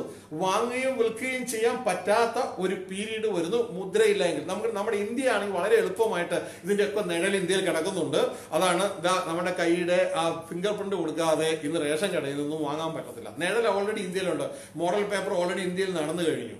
അപ്പോ എന്നാൽ ഇത് വാങ്ങാനും പറ്റില്ല വിൽക്കാനും പറ്റില്ല അങ്ങനെ ഒരു പീരീഡ് വരുന്നു വിശുദ്ധ ബൈബിൾ പറയുന്നു. ലോകത്തിലെ ഏതെങ്കിലും ഒരു പുസ്തകമല്ല മനോരമയോ മംഗളമോ ഗൾഫ് ന്യൂസോ കലിജി ടൈംസോ ന്യൂയോർക്ക് ടൈംസോ അല്ല പകരം വിശുദ്ധ ബൈബിൾ ആർ ഡി ശർമ്മയുടെ പുസ്തകമല്ല പകരം ഇതാ യേശു ക്രിസ്തുവിന്റെ വെളിപ്പാട് പുസ്തകം. വെളിപ്പാട് സന്ദേശം പറയുന്നു. വാങ്ങാനും വിൽക്കാനും പറ്റുകയില്ല. ഇനി കുഴപ്പമില്ല. ഉടനെ അതിന്റെ പരിഹാരം സോൾഡ് ക്വസ്റ്റ്യൻ ആണ്. അതിന്റെ ഉത്തരം കൂടി എഴുതിയിട്ടുണ്ട്. അപ്പൊ ഇവിടെ എന്ത് ഇവിടെ ഇവിടെ എന്തുകൊണ്ട് ജയിക്കാൻ പറ്റും? തൊട്ട് താഴെ ഉത്തരം കൊടുക്കുന്നു കൊടുത്തിരിക്കുന്നു. ഇവിടെ ജ്ഞാനം കൊണ്ട് ആവശ്യം.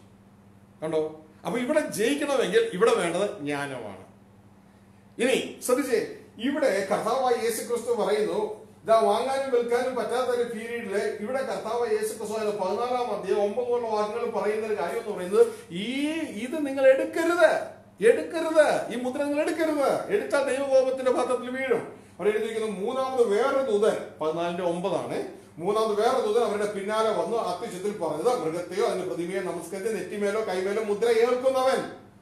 ഏൽക്കുന്നവൻ ദൈവകോപത്തിന്റെ പാത്രത്തിൽ കലർപ്പില്ലാതെ പകർന്നിരിക്കുന്ന ദൈവക്രോധം മദ്യം കുടിക്കേണ്ടി വരും. വിശുദ്ധൂതന്മാർക്ക് കുഞ്ഞാലിന് മുമ്പാകെ അഗ്നി എന്നതിൽ ദണ്ഡന അനുഭവിക്കും. എന്റെ സഹോദരങ്ങൾക്ക് പറ്റിയ ഒരു അബ്ദം എന്ന് പറയുന്നത് അവർ പറയുന്നത് ഞങ്ങൾക്കുള്ളതല്ല.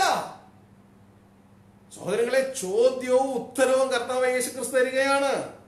കർത്താവ് പറയണ ഇത് എടുത്താൽ നിങ്ങൾ ദൈവക്രോധത്തിലേക്ക് പോകും. താഴെ എഴുതിയിരിക്കുകയാണ് അതിന്റെ പന്ത്രണ്ടാം വാക്യം ദൈവകൽപ്പനയും യേശുങ്ങളും വിശ്വാസം കാത്തുകൊള്ളുന്ന വിശുദ്ധന്മാരുടെ സഹിതത കൊണ്ട് ഇവിടെ ആവശ്യം. അതിന്റെ അർത്ഥം വിശുദ്ധന്മാർ ഇവിടെ തന്നെ ഉണ്ട്. ദൈവകൽപ്പന അനുസരിക്കുന്നവർ നിങ്ങളല്ലേ? യേശു ക്രിസ്തുവിന്റെ വിശ്വാസം കാത്തു കാത്തു- കാത്തുകൊള്ളുന്ന നിങ്ങളല്ലേ? നമ്മളല്ലേ വിശുദ്ധന്മാർ? ഇവിടെ നമ്മുടെ സഹിഷ്ണുത കൊണ്ട് ആവശ്യം. അപ്പൊ ഇവിടെയും സോൾഡ് ക്വസ്റ്റൻ ആണ്. ഇവിടെ എന്തുകൊണ്ട്? ജ്ഞാനം കൊണ്ടും സഹിഷ്ണുത കൊണ്ടും വിശ്വാസം കൊണ്ടും നമുക്ക് ജയിക്കാൻ പറ്റും? അപ്പൊ ഇത് നമ്മളോട് ഓൾറെഡി പറയുകയാണ്. പക്ഷെ എന്റെ സഹോദരന്മാരെ നല്ലൊരു പങ്ക്. അവർ പറയുന്ന ഒരു കാര്യം ഇതിനെല്ലാം മുമ്പ് സഭ ഇവിടുന്ന് പോകുമെന്നാണ് ബൈബിളിലെ ഉൽപ്പത്തി മുതൽ വെളിപ്പാട് വരെ. ഇത് എവിടെയാണെന്ന് ചോദിച്ചാൽ അവർക്ക് പറയാൻ ഉത്തരമില്ല. അവർ കുറെ വ്യാഖ്യാനം കൊണ്ടുവരും വചനം കൊണ്ടുവരുമല്ലോ വ്യാഖ്യാനം. വ്യാഖ്യാനം അല്ല പ്രിയ സഹോദരങ്ങളെ വേണ്ട നമ്മൾ നമ്മളെ തന്നെ ചതിക്കരുത്. സഹോദരങ്ങളെ നിങ്ങൾ എന്നെ നിങ്ങളെ നിങ്ങൾ എന്നെ കേൾക്കുമ്പോൾ ഞാൻ നിങ്ങളോട് ന്യായമായിട്ടൊരു ചോദ്യം ചോദിക്കട്ടെ? നിങ്ങൾ അതിലൊരു ഉത്തരം ഒന്ന് ചിന്തിച്ചു നോക്ക്. എന്നെ സംബന്ധിച്ച് ഞാൻ നിങ്ങളെയൊക്കെ സ്നേഹിക്കുന്നു. നിങ്ങൾ എത്രയൊക്കെ തിന്മ പറഞ്ഞാലും കർത്താവ് എന്നെ അങ്ങനെ ഡെവലപ്പ് ചെയ്തു ഇതാ തിന്മ പറയുന്നവരെ സ്നേഹിക്കാൻ തക്കവണ്ണം ഉം, കുത്തി മുറിവേപ്പിക്കുന്നവരെ സ്നേഹിക്കാൻ തക്കണം എനിക്ക് നേരത്തെ കഴിവില്ലായിരുന്നു. ഇപ്പൊ കർത്താവ് എന്നെ ട്രെയിൻ ചെയ്യിച്ച് അങ്ങനെ ആക്കിയെടുത്തു. അതിന്റെ അർത്ഥം എനിക്ക് അവരുടെ ദേഷ്യം വരത്തില്ലെന്നല്ല വരുന്ന ദേഷ്യത്തെ ഉടനെ തന്നെ ദൈവത്തിന്റെ ആത്മാവ് പിടിച്ചു കെട്ടാൻ ദൈവം എന്നെ സഹായിക്കുന്നു. ഗ്ലോറി കാരണം ഞാനും ഒരു പച്ച മനുഷ്യനാണ്. അപ്പൊ പ്രിയ സഹോദരങ്ങളെ ഞാൻ നിങ്ങളെല്ലാം സ്നേഹിക്കുന്നു. ഇവിടെ ഞാൻ ചോദിക്കുന്ന ഒരു ചോദ്യം എന്ന് പറയുന്നത് ഇതാ എ ആൻഡ് ബി രണ്ട് ഗ്രൂപ്പ് ജനത്തെ നമുക്ക് എടുക്കാം. സഹോദരങ്ങളെ നിങ്ങൾ നല്ലൊരു പങ്കം പ്രസംഗിക്കുന്നത് പോലെ ബൈബിളിൽ ഇല്ലാത്തതും വ്യാഖ്യാനം കൊണ്ട് മാത്രം നിങ്ങൾ പറയുന്നത് പോലെ യേശു ക്രിസ്തു സഭയെ ഈ വിഷയം ഈ രണ്ട് ചോദ്യങ്ങൾ വരുന്നതിന് മുമ്പ് തന്നെ എടുത്തുകൊണ്ട് പോകും. അതായത് മാർഗോ ബീസ്റ്റ് വരുന്നതിന് മുമ്പ് അത് എടുക്കാത്തവനെ എടുക്കാത്തത് എടുക്കാത്തവർക്ക് ഇതാ വാങ്ങാനും വിൽക്കാനും പറ്റത്തില്ല എടുക്കാത്തവനെ കൊല്ലും. ഈ നിയമം വരുന്നതിന് മുമ്പ് സഭ എടുത്തുകൊണ്ട് പോകും എന്ന് പറഞ്ഞ് ഇതാ തുടക്കം മുതലല്ല ഈ കുറച്ച് പത്ത് നൂറ് നൂറ്റമ്പത് വർഷമായിട്ടാണ് കേൾക്കുന്നത് പറഞ്ഞ് പഠിപ്പിച്ചുകൊണ്ടിരിക്കുന്നു. ബൈബിളിലെങ്ങും ഇല്ല എന്താണ്? അപ്പോ അങ്ങനെ ഇതിനു മുമ്പ് പോകാൻ വേണ്ടി ജനത്തെ തയ്യാറാക്കുന്നു. എനിക്ക് സന്തോഷമേ ഉള്ളൂ. ഞാൻ നിങ്ങളോട് ചേരുന്നു. എനിക്കും അവിടെ സമ്മതമാണ്. ആ ക്രിസ്തു വരുമ്പോൾ ക്രിസ്തുവിനോട് അതായത് മാർക്കോദിനു മുമ്പ് നിങ്ങൾ പറയുന്നത് പോലെ ക്രിസ്തു വരുമ്പോൾ ആ ക്രിസ്തുവിനോട് കൂടെ പോകാൻ ഞാനും തയ്യാറാണ്. അപ്പോൾ എ ഗ്രൂപ്പിൽ ഞാനുണ്ട്. മാർക്കോദബീസിന് മുമ്പ് ക്രിസ്തു വരുന്നത് നമ്മളെ കൊണ്ടുപോകും. ബൈബിളിലില്ല പക്ഷേ അതിന് നിങ്ങൾ പറയുന്നത് എന്റെ ഗ്രൂപ്പിൽ ഞാനുണ്ട്. എനിക്ക് സമ്മതമാണ് അതിലൂടെ പോകാൻ. ഇനി ബി ഗ്രൂപ്പ് രണ്ടാമത്തെ ഗ്രൂപ്പ്. ഈ മാർക്കോ ദ ബീസ്റ്റിന്റെ പീരീഡിൽ ഈ രണ്ട് ചോദ്യങ്ങൾക്കും ഉത്തരം കൊടുക്കാൻ റെഡിയായി. അതായത് വാങ്ങാനും വിൽക്കാനും കഴിയാത്ത പീരീഡ് വരുമ്പോഴും മാർക്ക് എടുക്കത്തില്ല. അതാണ് വിളക്ക് കത്തിക്കുക എന്ന് പറഞ്ഞത്. കത്തി നിൽക്കണോ അത്? വിശ്വാസത്തിന്റെ പരിശോധനയാണ്. ദൈവത്തിന്റെ വചനം പറഞ്ഞ വിശുദ്ധന്മാർക്ക് ഒരിക്കലായി വരമേൽപ്പിച്ചിരിക്കുന്ന വിശ്വാസത്തിന്റെ പരിശോധന. അതായത് കർത്താവായ സുരക്ഷിതാവായി രക്ഷിതാവായി സ്വീകരിച്ചാൽ തുടർന്ന് കൈയടിച്ചുകൊണ്ടിരിക്കുകയല്ലെന്ന് വിശുദ്ധന്മാർക്ക് ഒരിക്കലായി വരമേൽപ്പിച്ച് വിശ്വാസത്തിന്റെ പരിശോധനയുണ്ട്. വിളക്ക് കത്തിക്കുന്ന പരിപാടിയുണ്ട്. അപ്പോ അതിന്റെ പ്രധാനപ്പെട്ട രണ്ട് കാര്യങ്ങളാണ് അവസാനത്തെ ആ രണ്ട് ചോദ്യങ്ങൾ. പ്രധാനപ്പെട്ട ചോദ്യമാണ്. ഇത് പരീക്ഷയ്ക്ക് വരുന്ന ചോദ്യം ഓൾറെഡി നമുക്ക് തന്നിരിക്കുകയാണ്. അപ്പോൾ ഈ രണ്ട് ചോദ്യങ്ങളിൽ ജയം പ്രാപിക്കാൻ തക്കണം ബി ഗ്രൂപ്പാണ് ജയം പ്രാപിക്കാൻ തക്കണം ഒന്ന് ആദ്യത്തിൽ ഇതാ കർത്താവ് വന്ന ഈ മാർക്കോത്ത വിശ്വത പരീക്ഷയ്ക്ക് മുമ്പ് കൊണ്ടുപോകുമ്പോൾ പോകാൻ തയ്യാറായ ഗ്രൂപ്പിൽ ഞാനുണ്ട്. എയിൽ ഞാനുണ്ട്. ഇനി എയിൽ മാത്രമല്ല ബിയിലും ഞാനുണ്ട്. രണ്ടാമത്തത് അതായത് മാർക്കോത വിഷ്ണു വരുമ്പോൾ അതെടുക്കാതെ ജ്ഞാനം കൊണ്ട് ജയം പ്രാപിക്കുന്ന സെമി ഫൈനൽ ഒന്നാം പരീക്ഷയിൽ ജയം പ്രാപിക്കുന്നത് അതാണ് വാങ്ങാനും വിൽക്കാനും പറ്റത്തില്ല. ആ സമയത്ത് ജയിക്കാൻ തക്കവണ്ണം ദൈവത്തിന്റെ പരിശുദ്ധാത്മാവ് എന്നെ ഒരുക്കിയിട്ടുണ്ട്. ഇനി ബി അതിൽ തന്നെ രണ്ടാമത്തത്. അതെടുത്തില്ലെങ്കിൽ അവരെ കൊന്നുകളെ അതാണ് നിയമം. ദൈവത്തിന്റെ വചനം പറയുന്നു പാപത്തോട് പോരാടുന്നതിൽ പ്രാണത്യാഗത്തോളം നാം ഇതുവരെ എതിർത്ത് നിന്നിട്ടില്ല പക്ഷേ അന്ന് നമ്മൾ ജയിക്കും. ഇത് ഹെബ്രാലേഖനം പന്ത്രണ്ടാം അധ്യായം പറഞ്ഞു കേട്ടോ. പക്ഷേ അന്ന് നമ്മൾ ജയിക്കും. വെളിപ്പാട് പുസ്തകം പന്ത്രണ്ടാം അധ്യായത്തിൽ പറയുന്നു അവർ തങ്ങളുടെ പ്രാണനെ വിലയേറിയതായി എണ്ണിയിട്ടില്ല. ആ ഒരു ഇതിൽ രണ്ടാമത്തെ ചോദ്യം ഉത്തരം കൊടുക്കാൻ സ്വർഗത്തിലെ ദൈവം എന്നെ ഒരുക്കിയിട്ടുണ്ട്. ഞാൻ ഒരുങ്ങിയതല്ല ദൈവം എന്നെ ഒരുക്കി അതിന് ഞാൻ സമ്മതിച്ചു. അപ്പോൾ ഞാൻ എയ്ക്ക് എയുടെ ഉത്തരത്തിന് ഞാൻ തയ്യാറാണ് ബിയിലും ഞാൻ തയ്യാറാണ്. ശ്രദ്ധിച്ച്. നിങ്ങൾ പറയുന്നത് പോലെ കർത്താവ് യേശു ക്രിസ്തു ഇതാ ഈ വിഷയങ്ങളൊക്കെ വരുന്നതിന് മുമ്പ് വന്ന് കൊണ്ടുപോകാൻ തയ്യാറായാൽ അതിലാരുണ്ട് ഞാനുണ്ട്. പക്ഷേ ബൈബിളും യേശുവും ഇതാ പറയുന്നത് പോലെ ഈ പ്രതികൂലത്തിൽ ഇവിടെയാണ് വിശുദ്ധന്മാരുടെ സഹനം കൊണ്ട് ആവശ്യം. ദൈവകൽപ്പന അനുസരിക്കുന്ന വിശ്വാസികളുടെ സഹനം കൊണ്ട് ആവശ്യം എന്നൊക്കെ പറഞ്ഞതുപോലെ ഈ രണ്ട് ചോദ്യങ്ങളും കൂടെ ആൻസർ ചെയ്തിട്ട് നമ്മൾ ഇവിടുന്ന് പോകണമെങ്കിൽ സഹോദരങ്ങളെ അതിലും ഞാനുണ്ട്. പക്ഷെ നിങ്ങളുണ്ടാകും.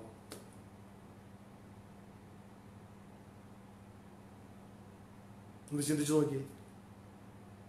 ഇന്ന് പ്രിയ സഹോദരങ്ങളെ ഈ നിയമം നിങ്ങളുടെ മുമ്പിൽ വന്നാൽ അതായത് ബിയിൽ പറയുന്ന ഈ നിയമം വന്നാൽ വാങ്ങാനും വിൽക്കാനും ഈ മുദ്രയില്ലാത്തതിന് പറ്റത്തില്ലെന്ന് പറഞ്ഞാൽ കുഞ്ഞെ ദൈവദാസനെ സഹോദര സഹോദരി സ്നേഹത്തോടെ പറയാ നിങ്ങൾ എന്നാ ചെയ്യും? നിങ്ങൾ എന്നാ ചെയ്യും? നിങ്ങൾ ഒരുങ്ങിയിട്ടുണ്ടോ? നിങ്ങളുടെ വിളക്ക് നിങ്ങൾ കത്തിക്കാൻ ശ്രമിക്കും. പക്ഷെ പറ്റുമോ നിങ്ങളുടെ ഭാര്യയുടെ വയറ് വിശക്കുമ്പോൾ മക്കളുടെ വയറ് വിശക്കുമ്പോൾ അവർ കരയും.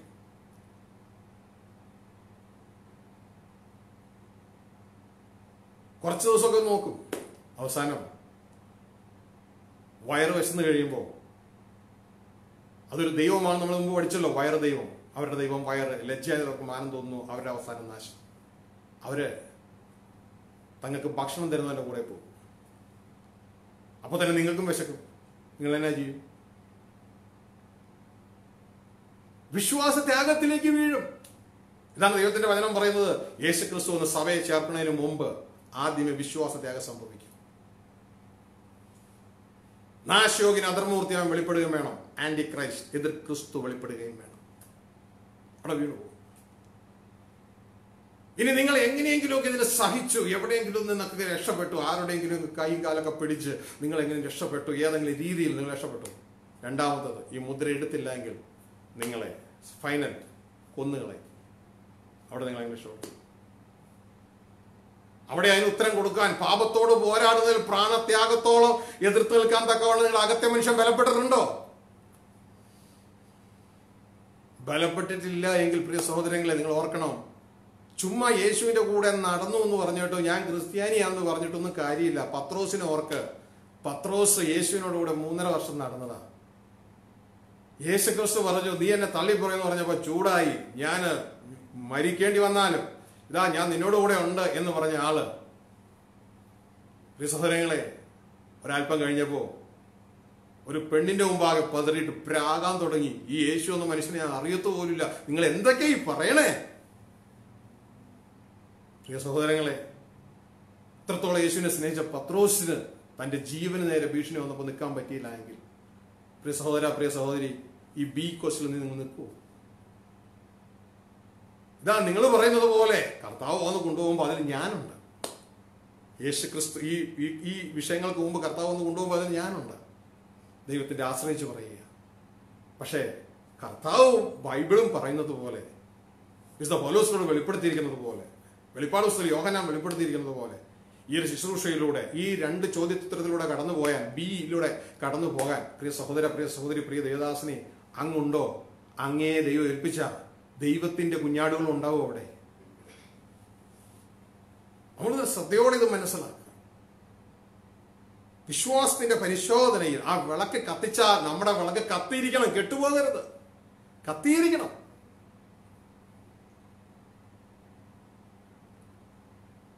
ഇവിടെ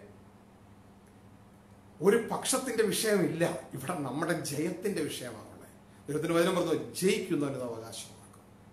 നാം ഇത് മനസ്സിലാക്കി നാം ഓരോരുത്തരും പ്രവർത്തിക്കും. ഇനി ഇന്നത്തെ ആ സ്റ്റെപ്പ് ഒന്ന് ജനറലി ഒന്ന് മനസ്സിലാക്കിക്കൊണ്ട് നമുക്ക് മുന്നോട്ടേക്ക് പോകാം. നാം ഈ വിശ്വാസിന്റെ പരിശോധനയിൽ നാം പോയി ആ മുദ്ര എടുത്താൽ കർത്താവ് യേശു ക്രിസ്തു പിതാവിന്റെ സന്ധിയിൽ പറയേണ്ടതായിട്ട് വരും. അവൻ അവൾ പരാജയപ്പെട്ടു. ദൈവക്രോധത്തിലേക്ക് അവർ വീഴുകയാണ് അപ്പോൾ ഈ ശുശ്രൂഷയെ കുറിച്ചൊന്ന് മനസ്സിലാക്കുക. ഇവിടെ ഓ ലോഡ് എല്ലാവരും. യേശു ഈ ശുശ്രൂഷ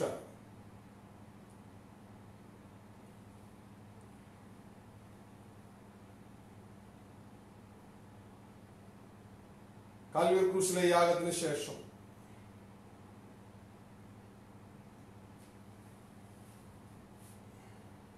യേശു ചെയ്യുന്ന ശുശ്രൂഷയാണ് മതാന ശുശ്രൂഷ പത്താം അധ്യായം.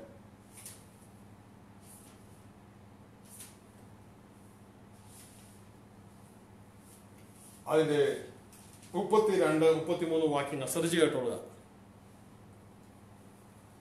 മനുഷ്യരുടെ മുമ്പിൽ എന്നെ ഏറ്റുപറയുന്ന ഏവനെയും സ്വർഗസ്ഥനായ എന്റെ പിതാവിന്റെ മുമ്പിൽ ഞാനും ഏറ്റുപറയും.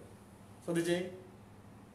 മനുഷ്യരുടെ മുമ്പിൽ നമ്മൾ ക്രിസ്തുവിനെ ഏറ്റുപറയുന്നുവെങ്കിൽ സ്വർഗസ്ഥനായ എന്റെ പിതാവിന്റെ മുമ്പാകെ ഞാനും ഏറ്റ് പറയും വീണ്ടും പറയാണ് മനുഷ്യരുടെ മുമ്പിൽ എന്നെ തള്ളി പറയുന്നവനെയോ എന്റെ പിതാവിന്റെ മുമ്പിൽ ഞാനും തള്ളി പറയും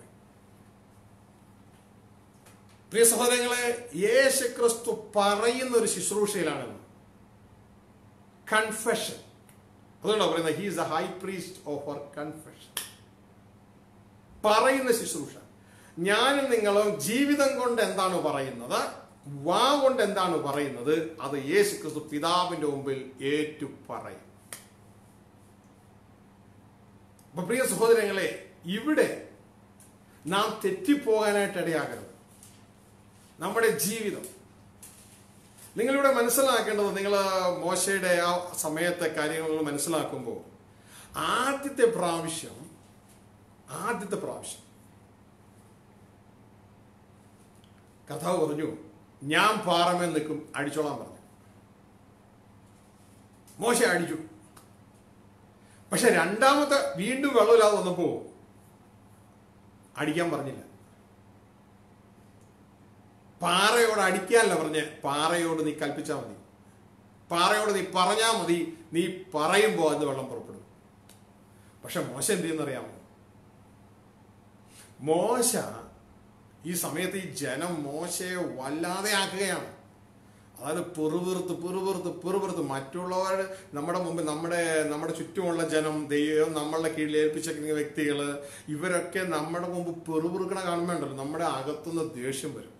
അകത്ത് ദേഷ്യം നിറയും. കീഴടങ്ങി നിൽക്കേണ്ട ഇവർ കീഴടങ്ങി നിൽക്കാതെ പെറുപെറുക്കുന്നു തലേ കയറുന്നു. ഇതേപോലെ തന്നെ അനുഭവം മോശയ്ക്കുണ്ടായി തന്റെ ചുറ്റുമുള്ള ജനം പെറുപെറുക്കണ കണ്ടപ്പോൾ ദൈവം പറഞ്ഞ ഈ കാര്യം. ഇതാ ഈ ജനത്തെ എന്ത് ചെയ്യണമെന്നറിയാമോ എന്റെ അടുക്കൽ കൊണ്ടുവരിക. എന്റെ അടുക്കൽ കൊണ്ടുവന്നിട്ട് നീ എന്ത് ചെയ്യണം? ഈ പാറയോട് പറഞ്ഞാൽ മതി പാറയിൽ നിന്ന് ജലം അങ്ങ് വന്നോളൂ എന്ന് പറഞ്ഞു. മോശമായി ജനത്തെയും കൊണ്ടുവന്ന് ഈ പാറയുടെ അടുത്ത് വന്നു. എന്നിട്ട് ഈ ജനത്തോട് പറഞ്ഞ് മത്സരികളെ. ആ ആ ദേഷ്യം ഈ ജനത്തോടുള്ള ദേഷ്യം. ദൈവം ഞങ്ങളിലൂടെ ദൈവം എന്നുള്ള പേര് പറഞ്ഞില്ല ഞങ്ങളിലൂടെ. ഇപ്പൊ വെള്ളം പുറപ്പെടുന്ന കണ്ടോ എന്ന് പറഞ്ഞ വാടിയെടുത്ത് പാറകിട്ട് രണ്ടടി അങ്ങോട്ട് ശ്രദ്ധിച്ചേ ശുശ്രൂഷ മാറിയെന്നും ഇനി അടിക്കുകയല്ല പറയുകയാണ് വേണ്ടതെന്നും മോശയ്ക്ക് ഇതൊന്നും അറിയത്തില്ല. കാരണം അതൊക്കെ നമുക്കിനി വരാൻ പോകുന്നതിന്റെ നിഴലാണ് ഇവിടെ.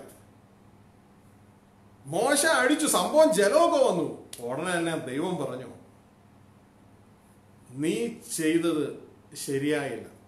നീ ഈ ജനത്തിന്റെ മുമ്പിൽ വെച്ച് എന്നെ വിശദീകരിക്കുന്നതിന് പകരം എന്നെ അവിശ്വസിച്ചു. ആ വീട് അവിശ്വസിച്ചു. ഞാൻ നിന്നോട് പറയാനാ പറഞ്ഞേ പക്ഷെ നീ ഇവിടെ അടിച്ചു. ഒന്നല്ല രണ്ട് പ്രാവശ്യം. നീ അവിശ്വസിച്ചു. അതുകൊണ്ടൊരു കാര്യം പറഞ്ഞു. നീ കനാൻ ദേശത്ത് കയറത്തില്ല. വലിയൊരു ശിക്ഷയാണ് അവിടെ കടന്നു വന്നത് വലിയൊരു ശിക്ഷ. കാനാൻ ദേശത്ത് കയറത്തില്ല. അതായത് ആദ്യം നിന്നെ എന്നെ അടിക്കാൻ പറഞ്ഞു. കാരണം അതിലൂടെയാണ് മാനവകുലം രക്ഷ പ്രാപിക്കുന്നത്. അതൊരു നിഴലാണ്. രണ്ടാമത് അടിക്കാൻ പറഞ്ഞില്ല. കാരണം രണ്ടാമത് നീ അത് ചെയ്യുമ്പോൾ നീ എന്താ ചെയ്യണമെന്നറിയാമോ നീ എന്നെ വീണ്ടും ക്രൂശിക്കുന്നവരുടെ കൂട്ടത്തിൽ നീ വിടുകയാ. രണ്ടാമത് എന്നെ അടിക്കുക രണ്ടാമത് ഒരു പ്രാവശ്യം ഞാൻ കാൽവർ കൃഷി ക്രൂശിക്കപ്പെട്ടു. അടി കൊണ്ടു. നിനക്കൊക്കെ വേണ്ടി അടി കൊണ്ടു. ഇനി ഇതാ ഞാനിതാ മഹാപുര ശുശ്രൂഷയിലേക്ക് കയറി. ഇനി ഞാൻ നിങ്ങൾ പറയുന്നതിനെ ഏറ്റുപറയുന്ന മഹാപുരോഹിതനാണ് ഇനി ഞാൻ. ഇനിയും നീ എന്നെ അടിക്കരുത്. ദൈവത്തിന്റെ വചനം പറയുന്നു. ഇതാ യേശു ക്രിസ്തുവിന്റെ കാലവരി കുറിച്ചുള്ള ഈ ആകത്താൽ നാം അത് വിശ്വസിച്ച് രക്ഷിക്കപ്പെട്ടവർ ആ വരുംകാലത്തെ ആ ആ ആ സ്പിരിച്വൽ സ്വീറ്റ്നെസ് അനുഭവിച്ചറിഞ്ഞവർ വീണ്ടും തെറ്റിപ്പോയാൽ അവർ ദൈവപുത്രനെ വീണ്ടും ക്രൂശിക്കുന്നവരാണ്. വീണ്ടും ക്രൂശിക്കുന്നവർ. അവരെ വീണ്ടും രക്ഷിക്കുവാൻ കഴിയുകയില്ല. അപ്പോ വീണ്ടും ക്രിസ്തുവിനെ അല്ലെങ്കിൽ ആ പാറയെ അടിക്കുക നമുക്ക് വേണ്ടി പിളർന്ന പാറയെ വീണ്ടും അടിക്കുകയാണ്. അപ്പൊ പ്രിയ സഹോദരങ്ങളെ അപ്പൊ പലരും ചിന്തിക്കും ഇതാ ഒരു അടിച്ചിട്ട് വന്ന് വെള്ളം വന്നു ഇപ്പൊ രണ്ടാമത്തെ പ്രാവശ്യം അടിച്ചിട്ട് വെള്ളം വന്നു. ഇവിടെ എന്ത് കുറ്റമാണ് ദൈവമേ ഇദ്ദേഹം ചെയ്തത്? പ്രിയ സഹോദരങ്ങളെ ഇതൊരു നിഴലാണ്. യഥാർത്ഥത്തിൽ നമുക്ക് വേണ്ടിയാണ് അത് കാണിച്ചത്. ഇനി മനസ്സിലാക്കിക്കൊള്ള കാര്യം നമ്മൾ ഇതിൽ വീഴരുത്. മനസ്സിലാക്കേണ്ട ഒരു കാര്യം ദൈവം മോശയെ തള്ളിക്കളഞ്ഞില്ല ദൈവം എന്തെന്നറിയാമോ അവിടെ വെച്ച് മോശയെ ദൂരെ നിന്ന് കനാൻ ദേശം കാണുവാനായിട്ട് ദൈവം അനുവദിച്ചു. ഒരു പർവതത്തിന് മുകളിൽ നിന്ന് ആ പർവതത്തിൽ കടന്നു പോകാൻ സ്വർഗത്തിൽ എന്നേക്കും കൃപ നൽകി. അപ്പോ കണ്ടു. കനാൻ ദേശം ദൂരെ നിന്ന് കണ്ടു. പക്ഷേ ദൈവം മോശയെ തള്ളിക്കളഞ്ഞില്ല. ഞാൻ മനസ്സിലാക്കുന്ന ഒരു കാര്യം എന്ന് പറയുന്നത് പുതിയ മതത്തിലേക്ക് നോക്കുമ്പോൾ തന്റെ ഭൗതിക ശരീരത്തിലല്ല എങ്കിലും തന്റെ ആത്മശരീരത്തിൽ ഇതാ മോശ കനാൻ ദേശത്ത് വന്നു. ആ മറുരൂപ മലയിൽ യേശുക്രിസ്തു ആ രൂപം മാറുമ്പോൾ മറുരൂപ മലയിൽ ഇതാ യേശുവോടുകൂടെ കടന്നു വന്ന് മോശയും ഏലിയാവും അവിടെ കാനാൻ ദേശത്ത് ഇറങ്ങി. പ്രിയ സഹോദരങ്ങളെ അങ്ങനെ ഇതാ കനാൻ ദേശത്ത് ഇതാ മോശയ്ക്കും കടന്നു വരാൻ സ്വർഗത്തിൽ ദൈവം കൃപ കൊടുത്തു. എന്നാൽ പ്രിയരെ നാം ഇവിടെ മനസ്സിലാക്കേണ്ടത് ഇന്ന് യേശുവിന്റെ ശുശ്രൂഷ എന്ന് പറയുന്നത് നമുക്ക് വേണ്ടി കൺഫസ് ചെയ്യുകയാണ്. നമ്മൾ എന്താണോ പറയുന്നത്? ജീവിതത്തിലൂടെ നമ്മുടെ വാക്കിലൂടെ എന്താണോ പറയുന്നത്? അത് പിതാവിന്റെ അടുക്കൽ കൺഫസ് ചെയ്യുകയാണ്. അപ്പോ നമ്മൾ ആ കർത്താവ് പറഞ്ഞത് അനുസരിക്കുകയാണ് എങ്കിൽ നമ്മുടെ വിളക്ക് കത്തുന്നു. നമ്മളെ കുറിച്ച് പറയുന്നത് പോസിറ്റീവ് കൺഫെഷൻ ആണ്. ഇത് നാം മനസ്സിലാക്കണം. അത് നെഗറ്റീവ് ആയാൽ നമുക്ക് അപകടമാണ്. നമ്മൾ ഇവിടെ ശ്രദ്ധിക്കേണ്ട ഒരു കാര്യം എന്ന് പറയുന്നത് ഇതാ മനുഷ്യന് മുമ്പിൽ എന്നെ തള്ളി പറയുന്നവനെയോ ഇങ്ങനെ തള്ളി പറയുക. തള്ളി പറയാന്ന് പറഞ്ഞാൽ കർത്താവ് എന്താണോ പറഞ്ഞത് അത് ചെയ്യാതിരിക്കുമ്പോൾ നമ്മൾ എന്ത് ചെയ്യുക? യേശുവിനെ തള്ളി പറയുക. യേശു ക്രിസ്തു പറയാണ് ഈ മുദ്ര വരുമ്പോൾ അത് എടുക്കരുത്. നമ്മൾ എടുക്കാതിരുന്നാൽ ഇതാ നമ്മളെ കുറിച്ച് പിതാവിന് മുമ്പിൽ ഏറ്റു പറയും എന്നാൽ നമ്മൾ എടുത്താൽ നമ്മളെ കുറിച്ച് പിതാവിന് മുമ്പിൽ തള്ളി പറയും. അവിടെ വിശ്വാസത്യാഗമായി അവസാനിച്ചു. പിതാവിന്റെ അടുക്കിലേക്ക് എത്താൻ പിന്നെ പറ്റേയില്ല. അപ്പോൾ നമ്മളിവിടെ ചെയ്യേണ്ട ഒരു കാര്യം എന്ന് പറയുന്നത് പ്രിയ സഹോദരങ്ങളെ ഞാൻ യേശു ക്രിസ്തുവിന്റെ ശുശ്രൂഷ മലയാളത്തിൽ എഴുതിയിരിക്കുന്നതും അപ്പോൾ തന്നെ ഇവിടെ ഇംഗ്ലീഷിലും കൂടി ഒന്ന് കമ്പയർ ചെയ്യാം. ഇന്ന് യേശു ചെയ്യുന്ന ശുശ്രൂഷ എന്ന് പറയുന്നത് ഇതാ നമുക്ക് വേണ്ടി ആ ദൈവത്തിന്റെ സന്നിധിയിലേക്ക് പ്രവേശിക്കുക. എബ്രായ ലേഖനം ഒമ്പതാം അധ്യായം പതിനൊന്ന് പന്ത്രണ്ട്. എബ്രായ ലേഖനം ഒമ്പതാം അധ്യായം അതിന്റെ പതിനൊന്ന് പന്ത്രണ്ട്. ഇവിടെ നാം മനസ്സിലാക്കേണ്ടത് യേശു ക്രിസ്തു ഒരിക്കൽ യാഗമായിട്ട് തുടർന്ന് ആ പഹാരോഹി ശുശ്രൂഷയിലേക്ക് കയറി. അതിന്റെ പതിനൊന്നാം വാക്യം ക്രിസ്തുവോ വരുവാനുള്ള നന്മകളുടെ മഹാപുരോഹിതനായി. അപ്പോ വരുവാൻ ഒരു സെറ്റ് നന്മകൾ ഇരിക്കുകയാണ് ഒരവകാശമൊക്കെ പ്രാപിക്കാൻ ഇരിക്കുക ആ വരുവാനുള്ള നന്മകളുടെ മഹാപുരോഹിതനായി വന്നിട്ട് കൈപ്പണി അല്ലാത്തതായി എന്ന് വെച്ചാൽ ഈ സൃഷ്ടിയിൽ ഉൾപ്പെടാത്തതായ വലിപ്പവും തെളിവും ഏറിയ കൂടാരത്തിൽ കൂടെ ആട്ടുകൊറ്റന്മാരുടെയും പശുക്കിടാക്കളുടെ രക്തത്താലല്ല സ്വന്തം രക്തത്താൽ തന്നെ ഒരിക്കലായിട്ട് എത്ര പ്രാവശ്യം? ഒരിക്കലായിട്ട്.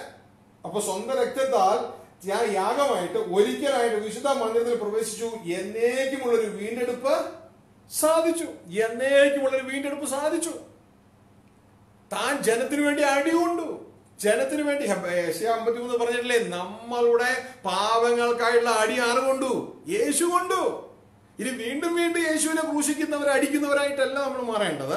അപ്പൊ ഇന്ന് യേശു ഇന്ന് ശുശ്രൂഷ എന്ന് പറയുന്നത് മഹാപുര ശുശ്രൂഷയാണ്. പിതാവായി ദൈവത്തിന്റെ വലതുഭാഗം തിരുന്നുകൊണ്ട് നാം രക്ഷിക്കപ്പെട്ട നമ്മളെ ആ രക്ഷയുടെ പൂർത്തിയിലേക്ക് കൊണ്ടുവരികയാണ് ചെയ്യുന്നത് ആ രക്ഷിക്കപ്പെട്ട നമ്മൾ യേശു രക്ഷിതാവായി സ്വീകരിച്ചു വിളക്കെടുത്തു. വിളക്കെടുത്ത നമ്മളെ രക്ഷയുടെ പൂർത്തിയിലേക്ക് അതായത് വിളക്ക് കത്തിക്കാൻ വേണ്ടി നമ്മൾ ഒരുക്കുകയാണ്. ലോകത്തിന്റെ പ്രകാശമാക്കാൻ വേണ്ടി നമ്മൾ ഒരുക്കുകയാണ്. ഇതാണ് ഇന്ന് യേശു എന്ന ശുശ്രൂഷ ഹെബ്രാ ലേഖനം ഏഴാം അധ്യായം അതിന്റെ ഇരുപത്തിയഞ്ചാം വാക്യത്തിലേക്ക് വരുമ്പോൾ ഈ ശുശ്രൂഷയിൽ പരാജയപ്പെട്ടാൽ നമ്മൾ പരാജയപ്പെട്ടു പോയി. ശ്രദ്ധിച്ചേ അവർ എഴുതിയിരിക്കുന്നു അതുകൊണ്ട് താൻ മുഖാന്തരമായി ദൈവത്തോട് അടുക്കുന്നവർക്ക് വേണ്ടി. അപ്പോ താൻ മുഖാന്തരം എങ്ങോട്ട് അടുക്കണം? പിതാവായ ദൈവത്തോട് അടുക്കണം. ഇന്ന് ഇത് സംഭവിക്കുന്നില്ല നല്ലൊരു പങ്കും. ഇന്ന് യേശു മുഖാന്തരം പിതാവോട് അടുക്കുന്നില്ല. പകരം യേശുവിൽ വന്ന ഒരു ആരാധനയായിട്ട് അവസാനിക്കുകയാണ്. കാരണം ക്രിസ്തുവിന്റെ സന്ദേശം അവർക്ക് മനസ്സിലാകുന്നില്ല എന്താണെന്നുള്ളത്. താൻ മുഖാന്തരം എവിടെ എത്തണം? താൻ മുഖാന്തരം ദൈവത്തോട് അടുക്കുന്നവർക്ക് വേണ്ടി പക്ഷാവാദം ചെയ്യുവാൻ. ദാറ്റ് ഈസ് ദ കൺഫെഷൻ നമുക്ക് വേണ്ടി ഇന്റർസീഡ് ചെയ്യുകയാണ്. ദാറ്റ് ഈസ് ദ കൺഫെഷൻ നമുക്ക് വേണ്ടി പിതാവിന്റെ സന്നിധിയിൽ പറയുകയാണ്. ദാറ്റ് ഇസ് എ കൺഫെഷൻ അപവാദിയാകുന്ന പിശാചെ ഞാൻ നിങ്ങൾ എന്തെങ്കിലും തെറ്റ് ചെയ്താൽ ഉടനെ അത് പറയാൻ അവിടെ ഉണ്ട്. വെളിപ്പാട് ദിവസം പന്ത്രണ്ടാം തീയതി പറയുന്നല്ലോ നമ്മുടെ സഹോദരന്മാരെ നിരന്തര രാപകൽ ദൈവസന്ധിയിൽ കുറ്റം ചുമത്തുന്ന അപവാദിയെ തള്ളിയിട്ടു. പിശാജ് അവിടെ ഉണ്ട്. പ്രിയ മകളെ പ്രിയ മകനെ നീ നീ ഞാനും ഒക്കെ നമ്മുടെ കുടുംബ ജീവിതത്തിൽ അവിശ്വസ്ത കാണിക്കുമ്പോൾ നമ്മുടെ ഓഫീസ് ജീവിതത്തിൽ അവിശ്വസ്ത കാണിക്കുമ്പോൾ നമ്മുടെ ആത്മീയ ജീവിതത്തിൽ അവിശ്വസ്ത കാണിക്കുമ്പോൾ ഒക്കെ അപവാദിയെ പിശാജ് അപ്പോൾ തന്നെ ഇതോടെ എത്തിക്കുന്നുണ്ട്. പക്ഷെ നമുക്ക് വേണ്ടി കൺഫസ് ചെയ്യാൻ ഒരു മഹാപുരോഹിത മഹാപുരോഹിതനായ ക്രിസ്തു അവിടെയുണ്ട്. നമ്മുടെ ഏത് പ്രവൃത്തിയാണ് ക്രിസ്തു അവിടെ പറയേണ്ടത്? നമ്മുടെ നന്മ പ്രവൃത്തികൾ അവിടെ കാണുവാനിടയാണ്. ക്രിസ്തു പറഞ്ഞ അവിടെ കാണുവാനിടയാണ്. എഴുതിയിരിക്കുകയാണ്. താൻ മുഖാന്തരമായി ദൈവത്തെ അടിക്കുന്നവർക്ക് വേണ്ടി പക്ഷവാദം ചെയ്യുവാൻ സദാ ജീവിച്ചിരിക്കുന്നവനാകയാൽ സദാ ജീവിച്ചിരിക്കുന്നവനായ ഫുൾ ടൈം മിനിസ്ട്രിയാണത് അവരെ പൂർണമായി രക്ഷിക്കാൻ പ്രാപ്തനാകുന്നു. അപ്പൊ രക്ഷിക്കപ്പെട്ട നമ്മളെ ഇനി എന്ത് ചെയ്യണം? ആ രക്ഷാപൂർത്തിയിലേക്ക് കൊണ്ടുവരണം. അവരെ പൂർണമായി രക്ഷിക്കാൻ പ്രാപ്തിയുള്ളവനാണ് അപ്പൊ മഹാപുരോഹിത ശുശ്രൂഷ യേശു എന്ന് ചെയ്തുകൊണ്ടിരിക്കുകയാണ്. മനസ്സിലായോ? അപ്പൊ ആ യേശു പറയുന്നു പിതാവിന്റെ മുമ്പിൽ എന്നെ ഇതേ നിങ്ങൾ മനുഷ്യരുടെ മുമ്പാകെ നിങ്ങൾ മനുഷ്യരുടെ മുമ്പാകെ ജീവിക്കണേ. സ്വർഗത്തിന്റെ വിളക്കായി നിങ്ങൾ മനുഷ്യരുടെ മുമ്പാകെ കത്തണം. മനുഷ്യരുടെ മുമ്പാകെ എന്നെ ഏറ്റു പറയുന്നത് എങ്ങനെ ഏറ്റു പറയുന്നത് യേശു നല്ലവൻ യേശു വലിയൊന്ന് പാട്ടുപാടിയാണോ നോ. യേശു പറഞ്ഞ അത് നമ്മൾ നിരന്തരം ചെയ്തുകൊണ്ടിരിക്കുക. ഇതാ യേശു എന്താണ് നമ്മൾ പറഞ്ഞത് അത് നാം അനുസരിക്കുമ്പോൾ നാം മനുഷ്യരുടെ മുമ്പാകെ യേശുവിനെ ഏറ്റു പറയുക. യേശുവാണ് എന്റെ തല എന്നിവിടെ തെളിയിക്കുകയാണ്. അപ്പോ ഈ അവസാന കാലത്തെ യേശു ക്രിസ്തു നമ്മളോട് പറഞ്ഞ രണ്ട് പ്രധാന ക്വസ്റ്റ്യൻ ഈ അത് എ ആൻഡ് ബി മറ്റേ നമ്മുടെ ഭാഷ പറഞ്ഞാൽ സെമി ഫൈനൽ ആൻഡ് ഫൈനൽ അപ്പോ ഈ ഒരു ഭാഗത്തേക്ക് വരുമ്പോ നമ്മൾ യേശുവിനോട് ഏറ്റുപറയണം അതനുസരിച്ച്. ശ്രദ്ധിച്ചേ? ഇവിടെ പറയണം അവരെ പൂർണമായി രക്ഷിപ്പാൻ കഴിവുള്ളവനാകുന്നു. ഇനി ഇവിടെ താഴെ ഇരുപത്തേഴ് എഴുതിക്കുക ആ മഹാപുരോഹിതന്മാരെ പോലെ. ഏത് മഹാപുരോഹിതന്മാരെ പോലെ? സമാഗമന കൂടാരത്തിലുള്ള മഹാപുരോഹിതന്മാരെ പോലെ അല്ലെങ്കിൽ ജെറുസലേമിലുള്ള ദേവാലയത്തിലെ മഹാപുരോഹിതന്മാരെ പോലെ ആദ്യ സ്വന്തം ഭാവങ്ങൾക്കായും പിന്നെ ജനത്തിന്റെ ഭാവങ്ങൾക്കായും ദിനം പ്രതി യാഗം കഴിപ്പാൻ ആവശ്യമില്ലാത്തവൻ തന്നെ. ദിനം പ്രതി ഇനി യാഗം വേണ്ട. ഏക യാഗത്താൽ നമ്മളെ വിടുവിച്ചു കഴിഞ്ഞു. ഇനി ആ ശുശ്രൂഷ ഇല്ല. ഇനി നമ്മൾ ആ ശുശ്രൂഷയിൽ വിശ്വസിച്ചുകൊണ്ട് അടുത്ത ശുശ്രൂഷയിലേക്ക് വരികയാണ്. എന്തിനാണ്? വരുവാൻ പോകുന്ന നന്മകൾക്കുള്ള മഹാപുരോഹിതന്റെ ഒരു ശുശ്രൂഷയുണ്ട്. ആ ശുശ്രൂഷയിൽ നാം പങ്കെടുക്കുമ്പോഴാണ് വരുവാൻ പോകുന്ന നന്മകൾ നമ്മുടെ ജീവിതത്തിൽ അനുഭവിക്കുവാൻ നമുക്ക് ഇടയാകുന്നത്. അപ്പൊ പ്രിയ സഹോദരങ്ങളെ അതുകൊണ്ട് അവിടെ എഴുതിയിരിക്കുകയാണ് അങ്ങനെ ദിനംപ്രതി യാഗം കഴിപ്പാൻ ആവശ്യമില്ലാത്തവൻ തന്നെ അത് അവൻ തന്നെത്താൻ അർപ്പിച്ചുകൊണ്ട് ഒരിക്കലായി ചെയ്തുവല്ലോ. അങ്ങനെ ആ ദിനം പ്രതിയുള്ള യാഗത്തിന് ആവശ്യമില്ല. ആ യേശുവിനെ നമ്മൾ വീണ്ടും ക്രൂശിക്കാനായിട്ട് കടന്നു പോകരുത്. ഇനി ആ ശുശ്രൂഷയുടെ ഒരു ബ്യൂട്ടി ഇവിടെ പറയുന്ന രംഗം എന്ന് പറയുന്നത് ഇതാ എബ്രാഹിം ലേഖനം മൂന്നാം അധ്യായം. എന്റെ ഒന്നാം വാക്യം മലയാളത്തിൽ വായിച്ചാൽ അത്ര ക്ലിയർ ആകത്തില്ല ഇംഗ്ലീഷിൽ വായിക്കാം അതുകൊണ്ട് വിശുദ്ധ സഹോദരന്മാരെ സ്വർഗീയ വിളിക്ക് ഓഹരിക്കാരായുള്ളവരെ നാം സ്വീകരിച്ചു പറയുന്ന അപ്പസ്തോലനും മഹാപുരോഹിതനുമായി യേശുവിനെ ശ്രദ്ധിച്ചു നോക്കുകയും ഇത് നമുക്ക് വലിയതായിട്ടൊന്നും മനസ്സിലാകത്തില്ല. നാം സ്വീകരിച്ചു പറയുന്ന എന്ന് പറയുമ്പോൾ ഇതാ വിളക്ക് കത്തിക്കുന്ന ഒരു ഭാഗമാണ്. സ്വീകരിച്ച് പിന്നെ പറയുക. സ്വീകരിക്കുക. വിളക്കെടുത്തു. തുടർന്ന് എന്ത് ചെയ്യണം? പറയണം. അവർ ഒരു കൺഫെഷൻ വാവുകൊണ്ട് മാത്രമല്ല ജീവിതം കൊണ്ട്. കൺഫെഷൻ ഇംഗ്ലീഷ് വായിക്കുകയാണെങ്കിൽ wherefore holy brother partakers of a heavenly calling consider the apostle and high priest of our confession even Jesus he is the high priest of our confession മഹാപുരോഹിതൻ എന്തിന്റെ എന്തിന്റെ എന്തിന്റെ എന്തിന്റെ മഹാപുരോഹിതനാണ്? ദിവസവും തന്റെ പാപത്തിനും മറ്റുള്ളവരുടെ പാപത്തിനും വേണ്ടി ആടുകളെയും പശുക്കിടാക്കളെയും രക്തം കൊണ്ടുവന്ന ഇസോപ്പ് ആ ചെടി കൊണ്ടുള്ള ഇതുകൊണ്ട് ആ ഇത് അതായത് ആ ആർക്കിൽ കൊണ്ട് തളിക്കുന്ന മഹാപുരോഹിതനല്ല. ഇത് താൻ തന്റെ സ്വന്തം രക്തത്താൽ ഒരിക്കൽ സമ്പാദിച്ചു കഴിഞ്ഞു. ഇനി is the high priest of our confession ഞാനും നിങ്ങൾ സ്വീകരിച്ച് ഇനി എന്താണോ പറയുന്നത് അത് പിതാവിന്റെ മുമ്പിൽ ഏറ്റു പറയുന്ന ഒരു ഹൈ ശുശ്രൂഷ ചെയ്യുന്ന മഹാപുരോഹിതനാണ് യേശു ക്രിസ്തു ശ്രദ്ധിച്ചേ അപ്പൊ ഞാനും നിങ്ങൾ ഇന്ന് ഇതാ നമ്മൾ ജോലി ചെയ്യുന്നിടത്ത് ആരും കാണാതൊരു തിന്മ ചെയ്തുവെങ്കിൽ ഇതാ പ്രിയ സഹോദരങ്ങളെ യേശുവിന് എന്താ നമ്മൾ കൊടുത്തേ? മഹാപുരോഹിതന് എന്ത് പറയാനാ കൊടുത്തേ? തിന്മയാ കൊടുത്തേ. അല്ല ഞാൻ നിങ്ങളും ഇന്ന് ആരും അറിയാതെ ഒരു വ്യക്തിയെ സഹായിച്ചു. നല്ലത് ചെയ്തു. യേശുവിന് നമ്മൾ എന്താ കൊടുത്തേ പറയാനായിട്ട്? പിതാവിന്റെ മുമ്പിൽ നല്ലതാ കൊടുത്തേ അല്ലേ? അപ്പോ നമ്മൾ ഓരോരുത്തരും ചിന്തിക്കണം ഞാൻ എന്റെ ജീവിത പങ്കാളിയോട് എങ്ങനെയാണ് ഇന്ന് പെരുമാറിയിട്ട് യേശുവിന് അത് ഏറ്റുപറയാൻ കൊടുത്തത്? ഇതാ ഞാൻ ഇത് എന്റെ എന്റെ ബിസിനസ്സിൽ എങ്ങനെ പ്രവർത്തിച്ചിട്ടാണ് യേശുവിനെ അത് കൺഫസ് ചെയ്യാനായിട്ട് കൊടുത്തത്? എന്തായിരുന്നു എന്റെ പ്രവൃത്തി? അത് യേശു കൺഫസ് ചെയ്യും ഏ നമ്മളുടെ പ്രവൃത്തി എന്താണോ? നാം സ്വീകരിച്ചു യേശുവിനെ. തുടർന്ന് പറയുകയാ അപ്പൊ യേശു എന്താണോ പറയുന്നത്? അതാ യേശു ആരാ? നമ്മുടെ തല അല്ലെ? നമ്മൾ എന്തായിട്ട് യേശുവിനെ സ്വീകരിച്ചേ? റോമലേഖനം ഒമ്പതാം അധ്യയം പത്ത് പതിനൊന്ന് അവിടെ പത്താം വാക്യം നമുക്ക് കാണാൻ കഴിയാവുന്നത്. ഇതാ നമ്മൾ യേശുവിനെ എന്തായിട്ടാണ് സ്വീകരിച്ചേ?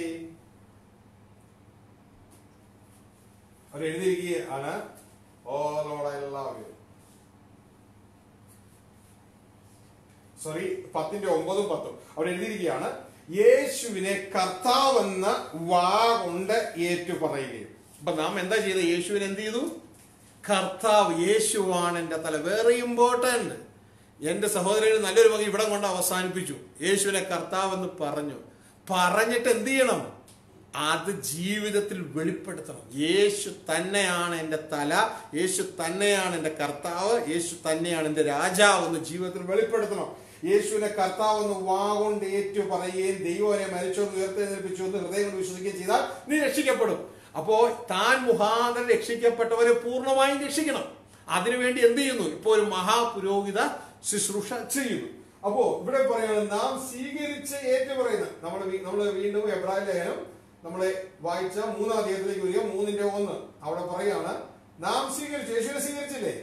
ദാ നാം സ്വീകരിച്ചു പറയുന്ന. സ്വീകരിച്ച മാത്രം പോരാ പിന്നെ എന്ത് ചെയ്യണം? പറയണം. എങ്ങനെ പറയണം? ജീവിതത്തിലൂടെ പറയണം വാ കൊണ്ട് പറയണം. എന്ത് പറയണം? ഞാൻ എന്താണ് യേശു രക്ഷിതാവായി സ്വീകരിച്ചപ്പോൾ പറഞ്ഞത്? യേശു ആണ്ടെ കർത്താവ് എന്നല്ലേ പറഞ്ഞേ. ഇല്ലേ? അത് ജീവിതത്തിലൂടെയും പറയണം വാ കൊണ്ടും പറയണം. യേശു ആണ് കർത്താവെങ്കിൽ ആരെ അനുസരിക്കും? നിങ്ങളുടെ തല നിങ്ങളുടെ കൈകളൊക്കെ തലയനുസരിക്കുന്നില്ലേ? എല്ലാ അവയവങ്ങളും തലയനുസരിക്കുന്നില്ല? ഇതേപോലെ നമ്മുടെ തല ക്രിസ്തുവ അല്ലേ? അങ്ങനെയെങ്കിൽ അവയവങ്ങളായ നമ്മൾ ആരെ അനുസരിക്കണം? ക്രിസ്തുവിനെ അനുസരിക്കണം. അങ്ങനെ നാം അനുസരിച്ചാൽ ആദ്യ വിശ്വാസം അത് ആദ്യം നമ്മൾ ഏറ്റുപറഞ്ഞില്ലേ? അത് അവസാനത്തോളം മുറുകെ പിടിക്കണം. അവസാനത്തോളം മുറുകെ പിടിച്ചാൽ നമുക്ക് ഇതിൽ പങ്കുണ്ട്. അല്ലെങ്കിൽ പങ്കില്ല. ഇനി നമ്മൾ താഴേക്ക് വായിക്കുമ്പോൾ അവർ എഴുതിയിരിക്കുകയാണ് ഇതാ അതിന്റെ ആറാം വാക്യം. ക്രിസ്തുവോ അവന്റെ ഭവനത്തിന് അധികാരിയായ പുത്രനായിട്ട് തന്നെ പ്രത്യാശയുടെ ധൈര്യവും പ്രശംസയും പ്രത്യാശ എന്ന് പറയുന്നത് വിശ്വാസം എന്ന് വരുന്നതാ അല്ലേ? യേശു എന്റെ കർത്താവുമാണ്. എനിക്ക് ഇതാ സ്വർഗീയ ദാനങ്ങൾ ഒരുക്കിയിരിക്കുന്നു. ഇതാ എനിക്കത് ലഭിക്കപ്പെടാൻ പോകുന്നു. ഇതാ ആ വിശ്വാസം അകത്തുണ്ട്. അത് നാം മുറുകെ പിടിച്ചാൽ നാം എപ്പോ വരെ മുറുകെ പിടിക്കണം? അവസാനത്തോളം മുറുകെ പിടിച്ചുകൊണ്ടാൽ നാം തന്നെ അവന്റെ ഭവനമാകുന്നു അവസാനത്തോളം മുറുകെ പിടിക്കണം. അവസാനത്തോളം. ഇടയ്ക്ക് വെച്ച് ഞാൻ രക്ഷിക്കപ്പെട്ടു. ഞാൻ കർത്താവെന്ന് പറഞ്ഞു. ഇനി എനിക്ക് ഇതാ തോന്നിയതുപോലെയൊക്കെ ജീവിക്കാം. നോ അവസാനത്തോളം മുറുകെ പിടിക്കണം. ഇന്ന് നമ്മൾ പലരും പല പല ഡോക്ടറുകൾ ചുറ്റും വിട്ടിരിക്കുക അതൊന്നും ബിബ്ലിക്കൽ അല്ല. ദൈവത്തിന് വചനം പറയുന്നത് അവസാനത്തോളം മുറിയെ പിടിക്കണം ഞാൻ പറയുന്നത് ബൈബിളാണ് സഹോദരങ്ങളെ. അവസാനത്തോളം മുറിയെ പിടിക്കണം അവസാനത്തോളം ഇനി താഴേക്ക് വരുമ്പോ ഇതാ അതുകൊണ്ട് എന്ത് ചെയ്യണം? താഴെ എഴുതിയിരിക്കുന്നത് ഏഴാം വാക്യം. അതുകൊണ്ട് പരിശുദ്ധമാരുടെ ചെയ്യുന്നത് പോലെ നിങ്ങൾ ഇന്ന് നിങ്ങൾ അവന്റെ ശബ്ദം കേൾക്കുന്നുവെങ്കിൽ മരുഭൂമിയിൽ വെച്ച് പരീക്ഷ ദിവസത്തിലെ മത്സരത്തിലെന്ന പോലെ നിങ്ങളുടെ ഹൃദയം കഠിനമാക്കരുത്. ഇതാ പരീക്ഷ ദിവസം വരുന്നു. ഇന്ന് നിങ്ങൾ അവന്റെ ശബ്ദം കേൾക്കുന്നുവെങ്കിൽ ഇന്ന് ഈ ശുശ്രൂഷയിലൂടെ പ്രിയ സഹോദര സഹോദരി നീ ദൈവത്തിന്റെ ശബ്ദമാണ് കേൾക്കുന്നത്.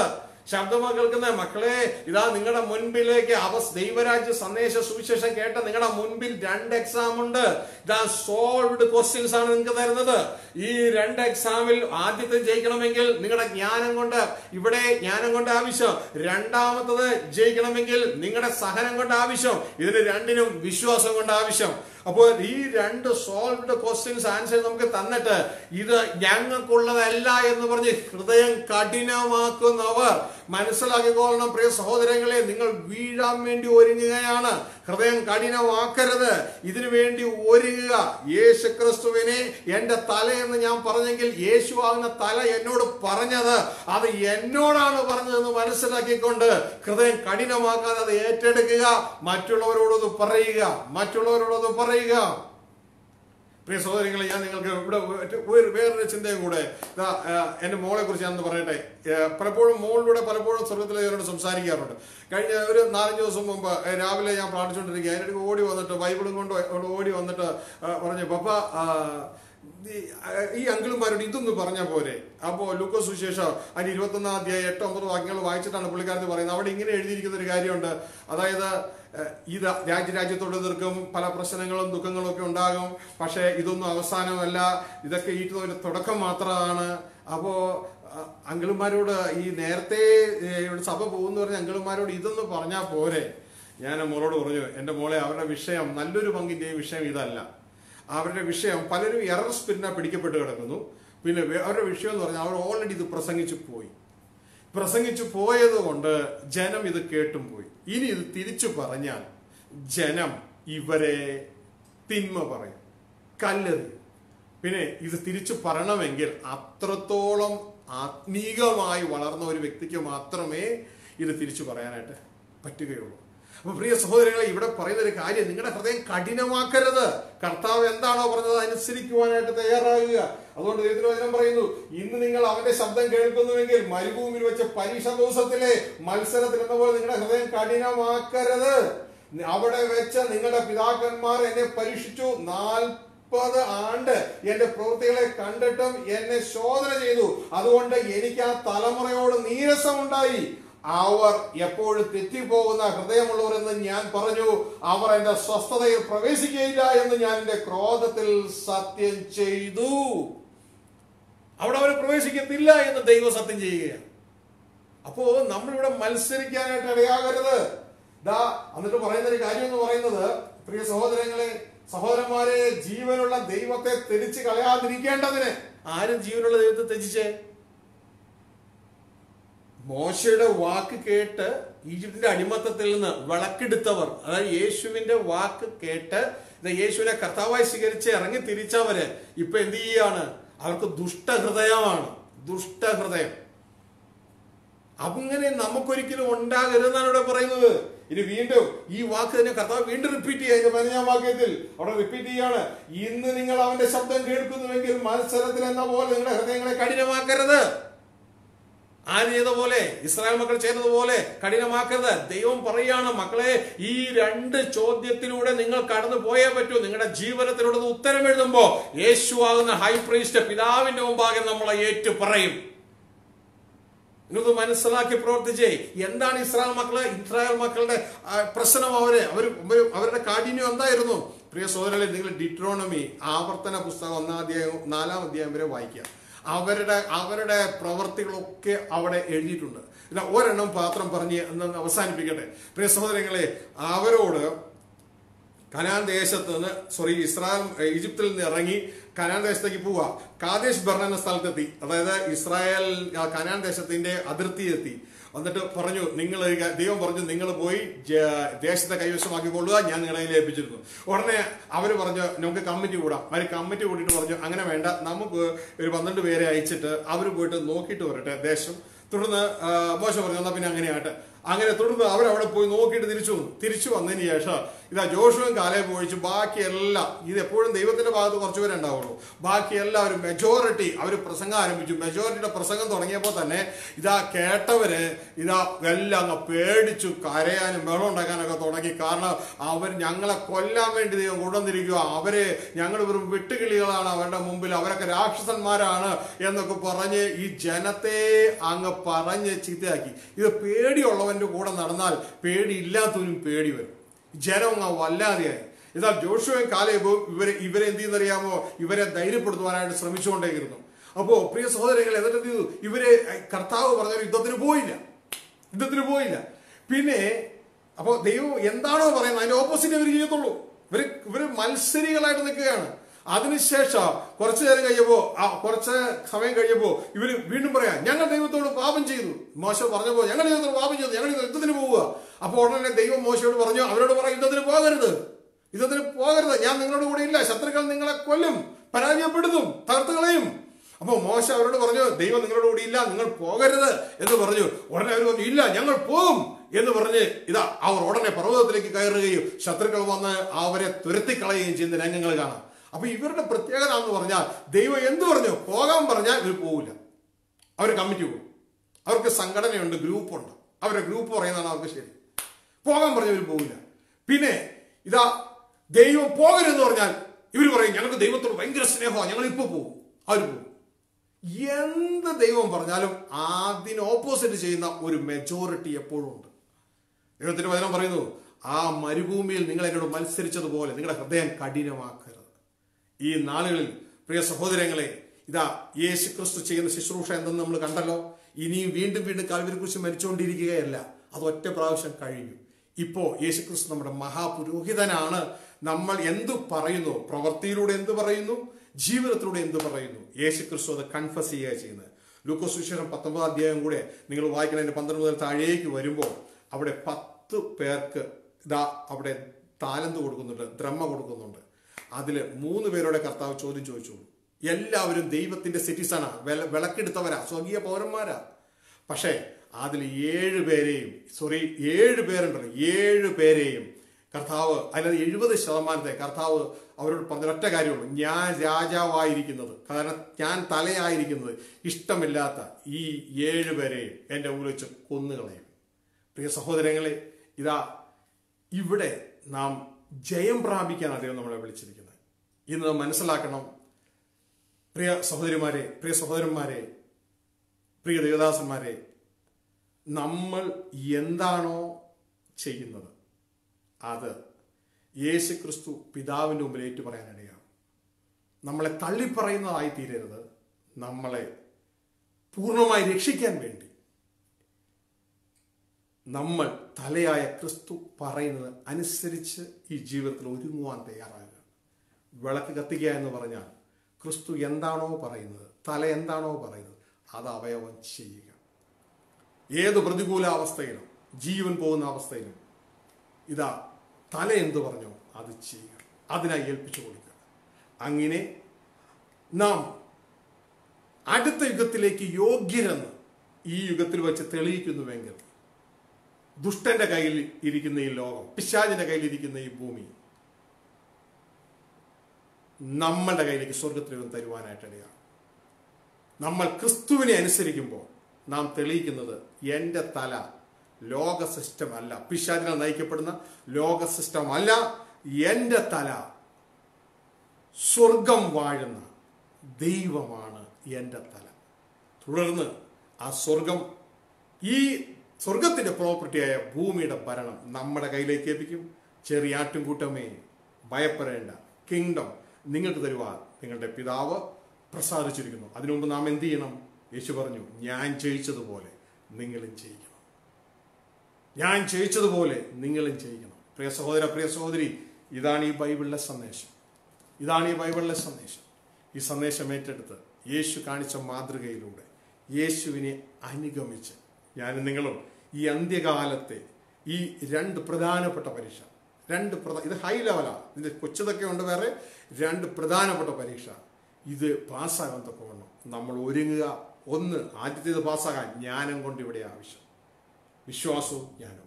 രണ്ടാമത്തേത് പാസ്സാകാൻ സഹിഷ്ണുത കൊണ്ട് ആവശ്യം. വിശ്വാസവും സഹിഷ്ണുതയും. രണ്ട് സോൾവ്ഡ് ക്വസ്റ്റ്യൻസ് ആണ് നമുക്ക് നൽകിയിരിക്കുന്നത്. അതുകൊണ്ട് ഇത് അറിഞ്ഞില്ല കേട്ടില്ല എന്ന് പറഞ്ഞ് മരുഭൂമിയിലെ മത്സരത്തിൽ എന്നതുപോലെ നിങ്ങളുടെ ഹൃദയം കഠിനമാക്കി നിങ്ങൾ അവസാനിക്കും അവസാനിപ്പിക്കരുതേ എന്ന് പ്രത്യേകിച്ച് എന്റെ സഹോദരങ്ങളെ എല്ലാവരോടും ഓർപ്പിക്കുകയാണ്. ഞാൻ നിങ്ങളെല്ലാവരും സ്നേഹിക്കുന്നു. നമ്മുടെ പപ്പ നമ്മുടെ എല്ലാവരെയും സ്നേഹിക്കുന്നു. സ്വർഗത്തിലെ ദൈവം നമ്മുടെ എല്ലാവരോടും കൂട്ടായിരിക്കട്ടെ. ഈ സന്ദേശം ഇതാ ഇനിയും നമ്മൾ ആഴത്തിൽ മനസ്സിലാക്കുവാനുണ്ട്. പക്ഷെ സ്വർഗത്തിലെ ദൈവം നിങ്ങൾക്ക് മനസ്സിലാക്കി തരുവാനായിട്ട് ഇടയാകട്ടെ. നമുക്ക് ഒരുമിച്ച് ദൈവസന്ധിയിൽ പ്രാർത്ഥിക്കാം. ഈ നാളുകളിൽ നമ്മുടെ ഹൃദയം മാറ്റപ്പെടുവാനായിട്ട്. ആ കല്ലായുള്ള കഠിനമായ ഹൃദയം മാറ്റി ഇതാ മാംസളമായ ഹൃദയത്തിലേക്ക് വരുവാൻ ദൈവമേ എന്നെ സഹായിക്കണമേ എന്ന് നമുക്ക് ദൈവസ്വത്തിൽ പ്രാർത്ഥിക്കാം. അധിക താമസിയാതെ നമുക്ക് അനുവദിച്ച ശ്വാസം നമുക്ക് ഓക്സിജൻ ഇതാ പിൻവലിക്കപ്പെടുവാനായിട്ട് ഇടയാകും. നമുക്ക് ദൈവത്തിൽ ആശ്രയിക്കാം. സ്വകീയ പിതാവേ അങ്ങ് തന്ന നല്ല വചനത്തിനായി നന്ദിയോടെ ഞങ്ങൾ അങ്ങ് സ്തുതിക്കുന്നു. പ്രിയ നല്ല നാഥ യേശു ക്രിസ്തുവിന്റെ രണ്ട് ശുശ്രൂഷകളെ കുറിച്ച് അങ്ങ് ഞങ്ങൾക്ക് പറഞ്ഞു തന്നു. മോശയോട് ആദ്യം പാറയിൽ അടിക്കാൻ പറഞ്ഞു ഞാൻ പാറയിൽ നിൽക്കും നീ പാറയെ അടിക്കണം രണ്ടാമത് പാറയോട് പറയാൻ പറഞ്ഞു ഇന്ന് ഞങ്ങൾ തലയായ അങ്ങയുടെ ചിന്തകളെ പറയുന്നവരായി പ്രവൃത്തിയിലൂടെ വാക്കിലൂടെ പറയുന്നവരായി തീർന്ന്. ഈ ലോകത്തിന് പ്രകാശമായി തീരുവാൻ അങ്ങ് ഞങ്ങളെ കുറിച്ച് ആഗ്രഹിക്കുന്നുവല്ലോ. എന്താണ് വിളക്ക് കത്തിക്കുക എന്ന് അതിലൂടെ അങ്ങ് ഞങ്ങൾക്ക് പറഞ്ഞു തന്നു. തലയുടെ ഇഷ്ടം ഞങ്ങളുടെ ജീവിതത്തിലൂടെ ചെയ്യുക. തല പറയുന്നത് വിശ്വസിക്കുക. അതിനെ പ്രാവർത്തികത്തിൽ കൊണ്ടുവരിക. എന്നാൽ ഒരുങ്ങാതിരിക്കുന്ന പരീക്ഷയ്ക്ക് ഒരുങ്ങാതിരിക്കുന്ന കുട്ടിക്ക് ചോദ്യം വരുമ്പോൾ അതിന് ഉത്തരം എഴുതാൻ കഴിയാത്തതുപോലെ ഈ ചോദ്യമൊന്നും വരത്തില്ല എന്ന് ചിന്തിച്ചുകൊണ്ട് അവിടെ ചെന്നപ്പോൾ ചോദ്യം വന്നിരിക്കുന്നു താൻ പഠിക്കാത്തത്.